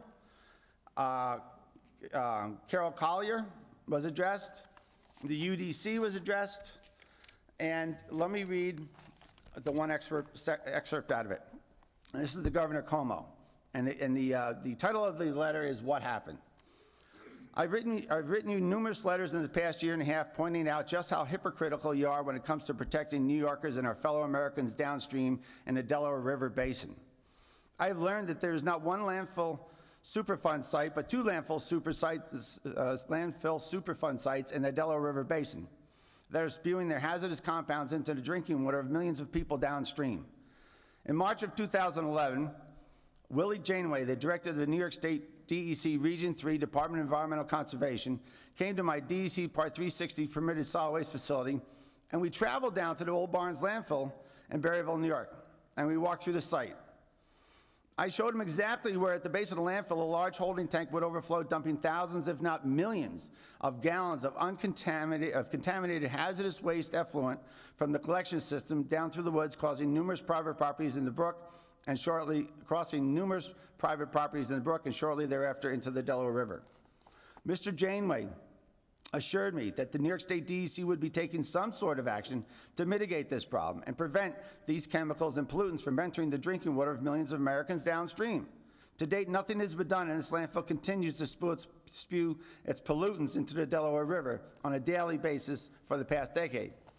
You can also go onto YouTube, and I went down there and I took a video of it. And you can go to Barnes Landfill YouTube, and you can see the water, the leachate, coming from a Superfund site, a hazardous waste site, flowing out of this manhole, it still is today, directly into the Delaware River.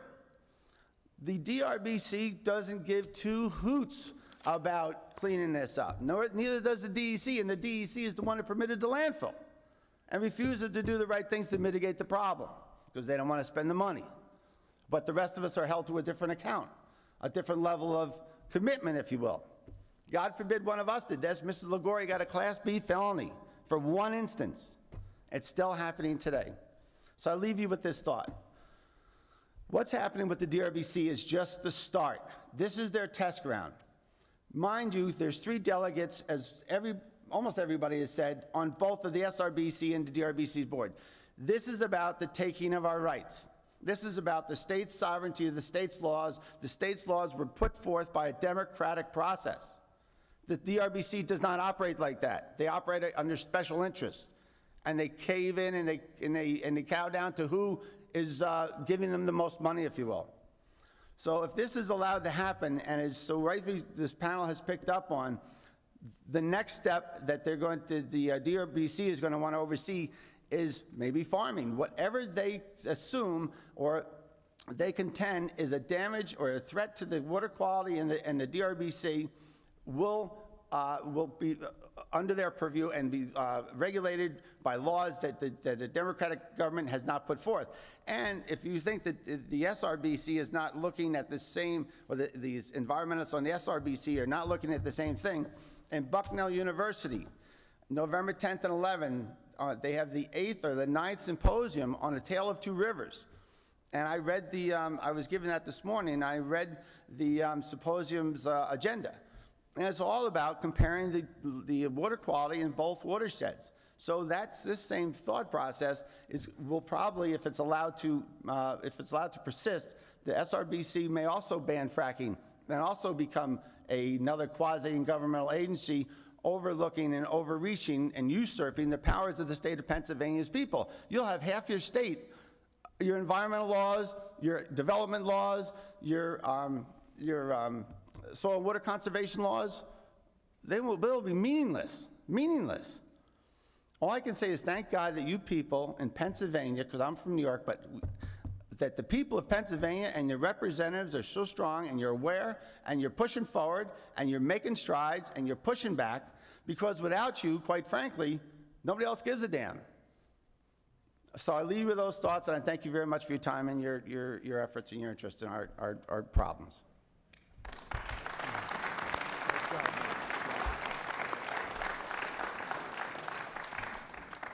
This has truly been a very uh, powerful and informative hearing so far today. We are going to turn the members for questions. Representative Peifer, Representative Tallman, then Representative Fritz. Thank you, Chairman, and thank you all for being here. I'd like to thank all the testifiers for, for coming today. Mr. Lang, it's, it's kind of my pet peeve, too, that there, there are no moratoriums on landfills in the DRBC, but gosh forbid we could be 22 miles from the river and try to, you know, extract natural gas. So I, I don't understand that myself, so that was great testimony, and I'm going to watch it several more times, um, and I'd like to talk to you when we're done. But, you know, Lieutenant Governor Cawley, um, former Lieutenant Governor Cawley, uh, spent much time traveling the Commonwealth uh, when we were looking at a way to um, draw funds from natural gas. Uh, he met with in rural Pennsylvania, knowing that there were certain um, certain uh, growth areas where we would have to um, step up as a Commonwealth, and and basically through his testimony and his research and, and, and through some of these um, type of town hall meetings like this, uh, with planners and, and everyone involved, we developed what, what's called Act 13 or the impact fee. Uh, we don't hear about the impact fee. Uh, all we hear is about we don't have a severance tax, but we, we truly do have an impact fee, and it really has to do with uh, a dollar amount established upon the drilling instead of percentage. Uh, that dollar amount is reduced every year based upon the well sites, you know, uh, the extraction of gas. Um, and like I said, I really thought he did a great job. It was very well thought out plan.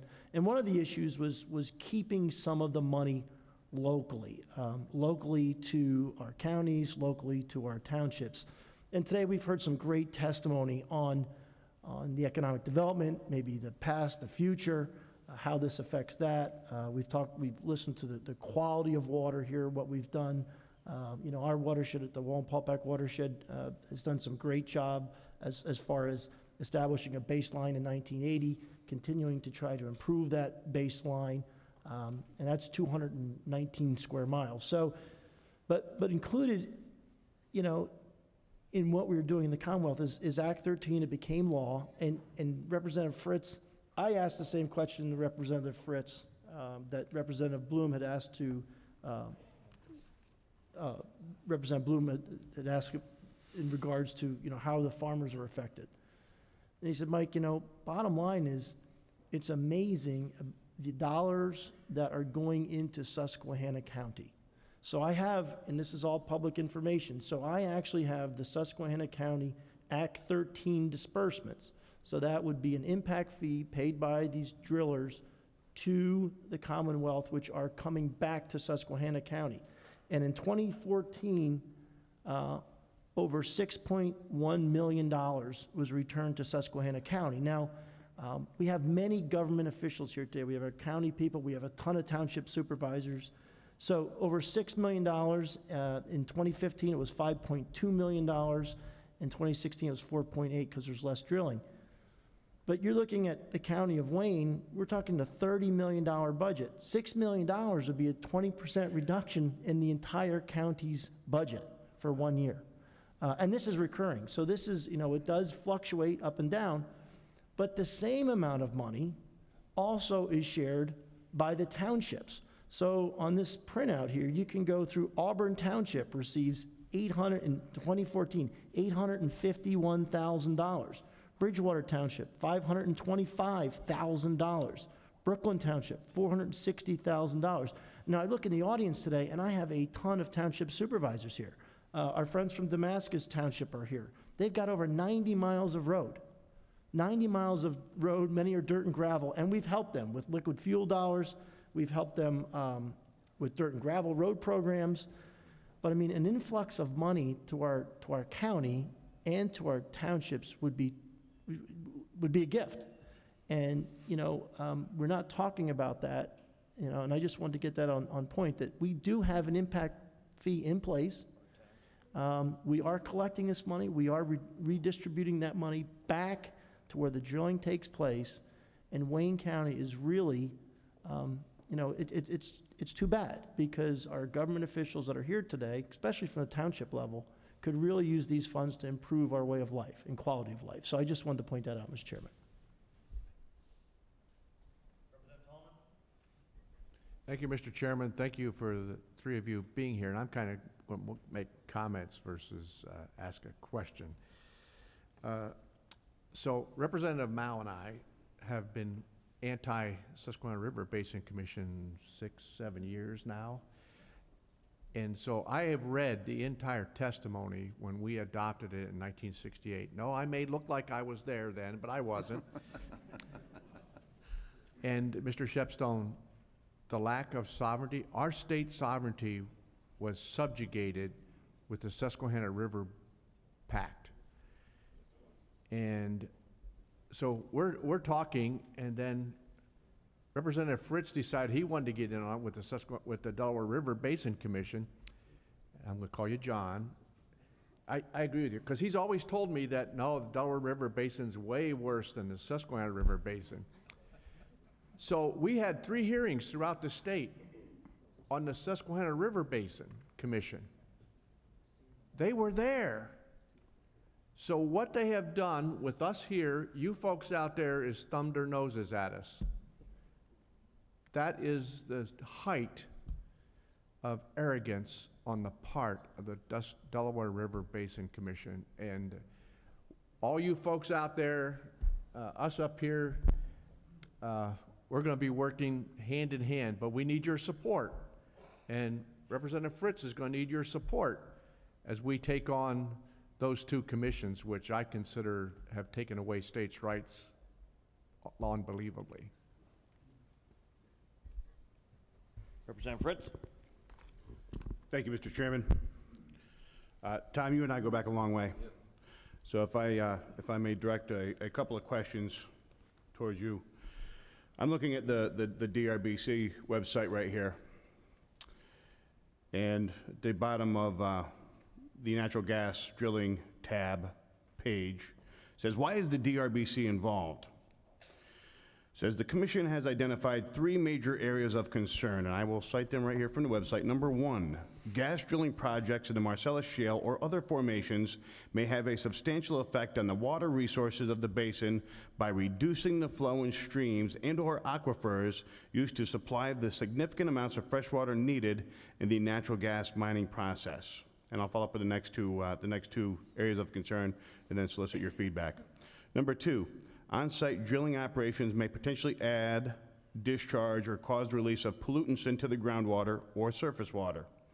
And number three, the recovered frack water must be treated and disposed of properly. Those are the three areas that they find justification for their involvement. They're hanging their hat on those particular areas, and can you speak to them, please? Yes, on the, uh, The first one, which is the water supply issue. Uh, First of all, if you know anything about the uh, Wayne and Pike counties, you know we have a lot of water. That's one of the things with the Catskill Formation, that we have a tremendous supply of water. There's no shortage of water here. Uh, That's the first thing. And, and I would also point out that when you burn natural gas, you know what you get? Water. Uh, As a matter of fact, every, every fracked well ultimately produces far more water uh, when the gas is combusted than what is used in fracking that well. That's a fact. You can check it out. Um, The, the second thing about the water quality issue, uh, or maybe that was the third thing, I forget, but the, uh, whichever it was, the, on the water quality side, I think the SRBC data speaks for itself. Um, The, uh, and and with some good testimony by Jim here earlier, Jim Barber, uh, about the fact that, yes, there were some issues with methane early on, and that was an unfamiliarity with the methane migration that's common to Susquehanna County. We're way, way beyond that at this point, and there, there is still no evidence in this country of any instance of hydraulic fracturing polluting a groundwater supply. There is none. And, and the only way they get around it is by using the word fracking to include both drilling, fracking, uh, driving trucks, uh, delivering stuff. That's how they do it. Uh, They, and they say, okay, we had this methane issue uh, over in uh, Lycoming County or something, so that proves fracking pollutes groundwater. Well, no. Uh, if you go to Lycoming County or Susquehanna County, you're going to find methane migration from drilling water wells. Uh, and Brian Oram, a, a well-known hydrologist who works in this area, he frequently talks about uh, when he, you know, lit his first well on fire, you know, that kind of a thing over the years. I mean, this is common stuff. Everybody around here knows this. Uh, and I could cite example after example. So there just is no validity. I forget what the third item was. The third is the recovered frack water must Oh, be treated and disposed Yeah, of and that- properly. that's, that- Tony could speak to that probably better than I could, but the reality is that, uh, uh, fortunately, in the Northeast in particular, our companies are recycling everything. This is not an issue. Uh, You know, Cabot Oil and Gas, which I'm very close to, and, and uh, uh, they, they have been, uh, and of course, they're the ones that everybody thought was the big, you know, the big problem. They turned out to be a leader at, at the end of the day.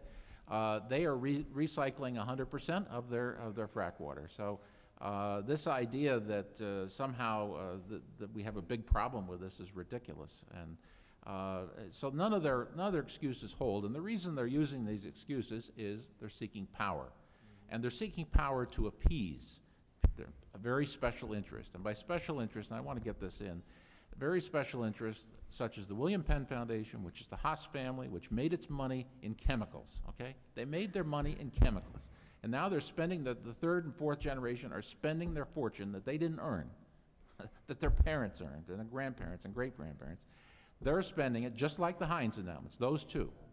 They spend the money in funding PennFuture, who you've all heard about, Clean Air Council, who you've all heard about, and the Delaware Riverkeeper, who you've all heard about. They're three attack dog organizations. And they also fund State Impact PA, by the way, but that's another story.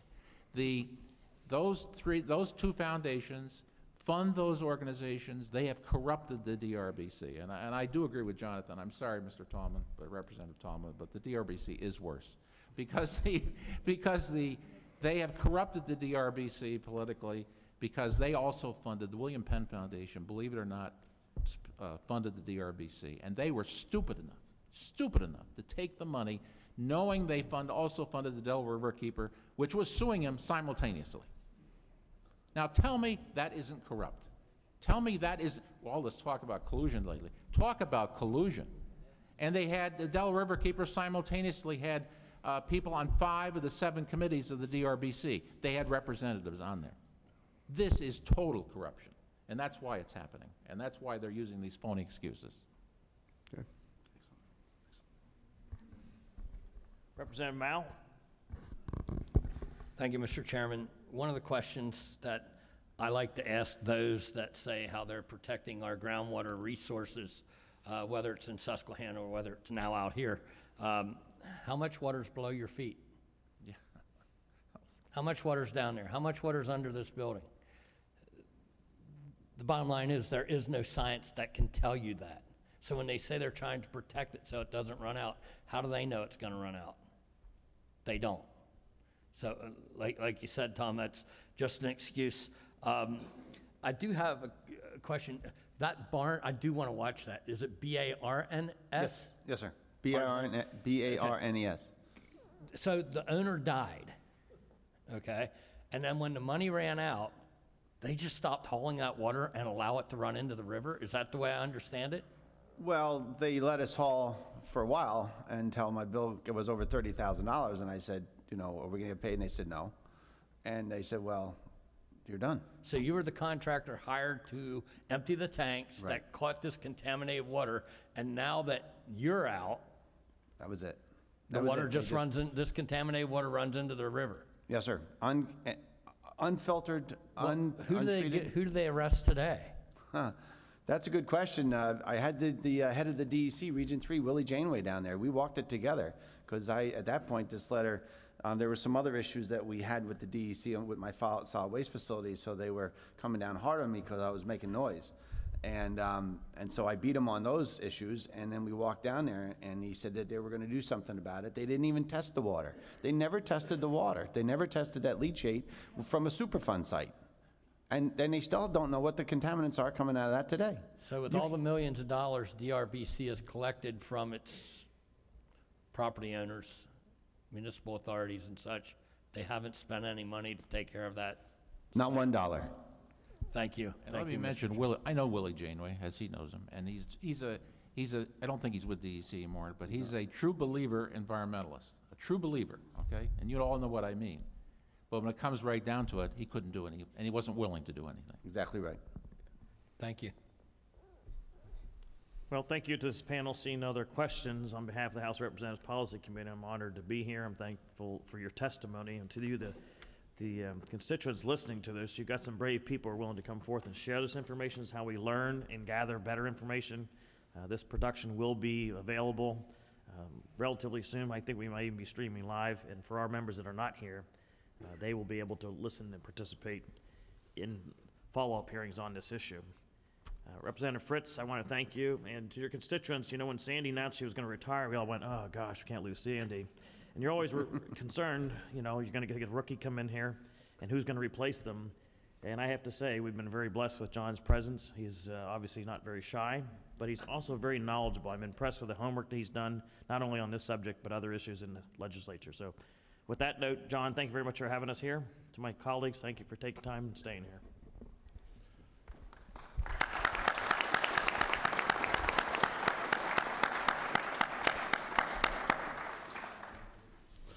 Thank you, Mr. Chairman, for those kind words. At, uh, at the end of the day, I'm just trying to do right by my maker and my family and my constituents, so uh, I hope that my actions are simply an extension of that. Uh, I'm going to offer up some closing commentary, if I may. In my hand, I hold a newspaper. It's the Scranton Times Tribune, dated Thursday, September 21, where they cover Governor Wolf making some, some, uh, some publicity visits, visiting Tunkhannock. And I'm going to quote the newspaper here. The governor said the community has done a great job reinventing itself, and y'all should be justly proud. He cited the Route 6 bypass completed 20 years ago, new sidewalks from 10 years ago, a vibrant community theater, and right here, folks, right here is the, the main part, and the influx of cash from Marcellus Gas. Unbelievable. It speaks to, friends, a very obvious double standard. Natural gas development is illustrated as being done safely in the Susquehanna River Basin, but it's gauged as too risky for the Delaware River Basin. Susquehanna River Basin landowners are able to realize the economic opportunity, the growth, family sustaining jobs, ancillary business stimulation, royalty payments, sizable impact fee payments, and tax relief. Folks, tax relief that comes with the natural gas industry. DRBC landowner, landowners, rather, are being treated as second-class citizens and being wrongly deprived of their property rights in that same opportunity. Now, friends, I prescribe, and I'm probably not the only one up here that prescribes to this theory, that when warranted, government's role is to guide, steer, or perhaps restrict a given activity. But absent the soundest justification for doing so, permanently banning such an activity can have profound precedential, programmatic, and legal consequences.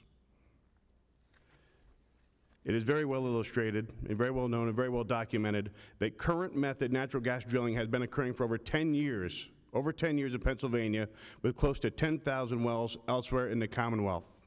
It begs the question, how can it be done safely in other basins, but at the same time be considered as too risky for the Delaware River Basin? And again, that resonates that there is a very clear double standard. Friends, this is very much a property rights issue. Wayne County and Pike County residents are being deprived of their rights along with economic opportunity and liberty. And I take very, very serious issue with that. And I'm so pleased to have all of you here today that share in that same frustration and disdain, and as well my colleagues seated up here with me. We are pushing back. Thank you for being part of that effort. Thank you for being part of that initiative. God bless each and every one of you.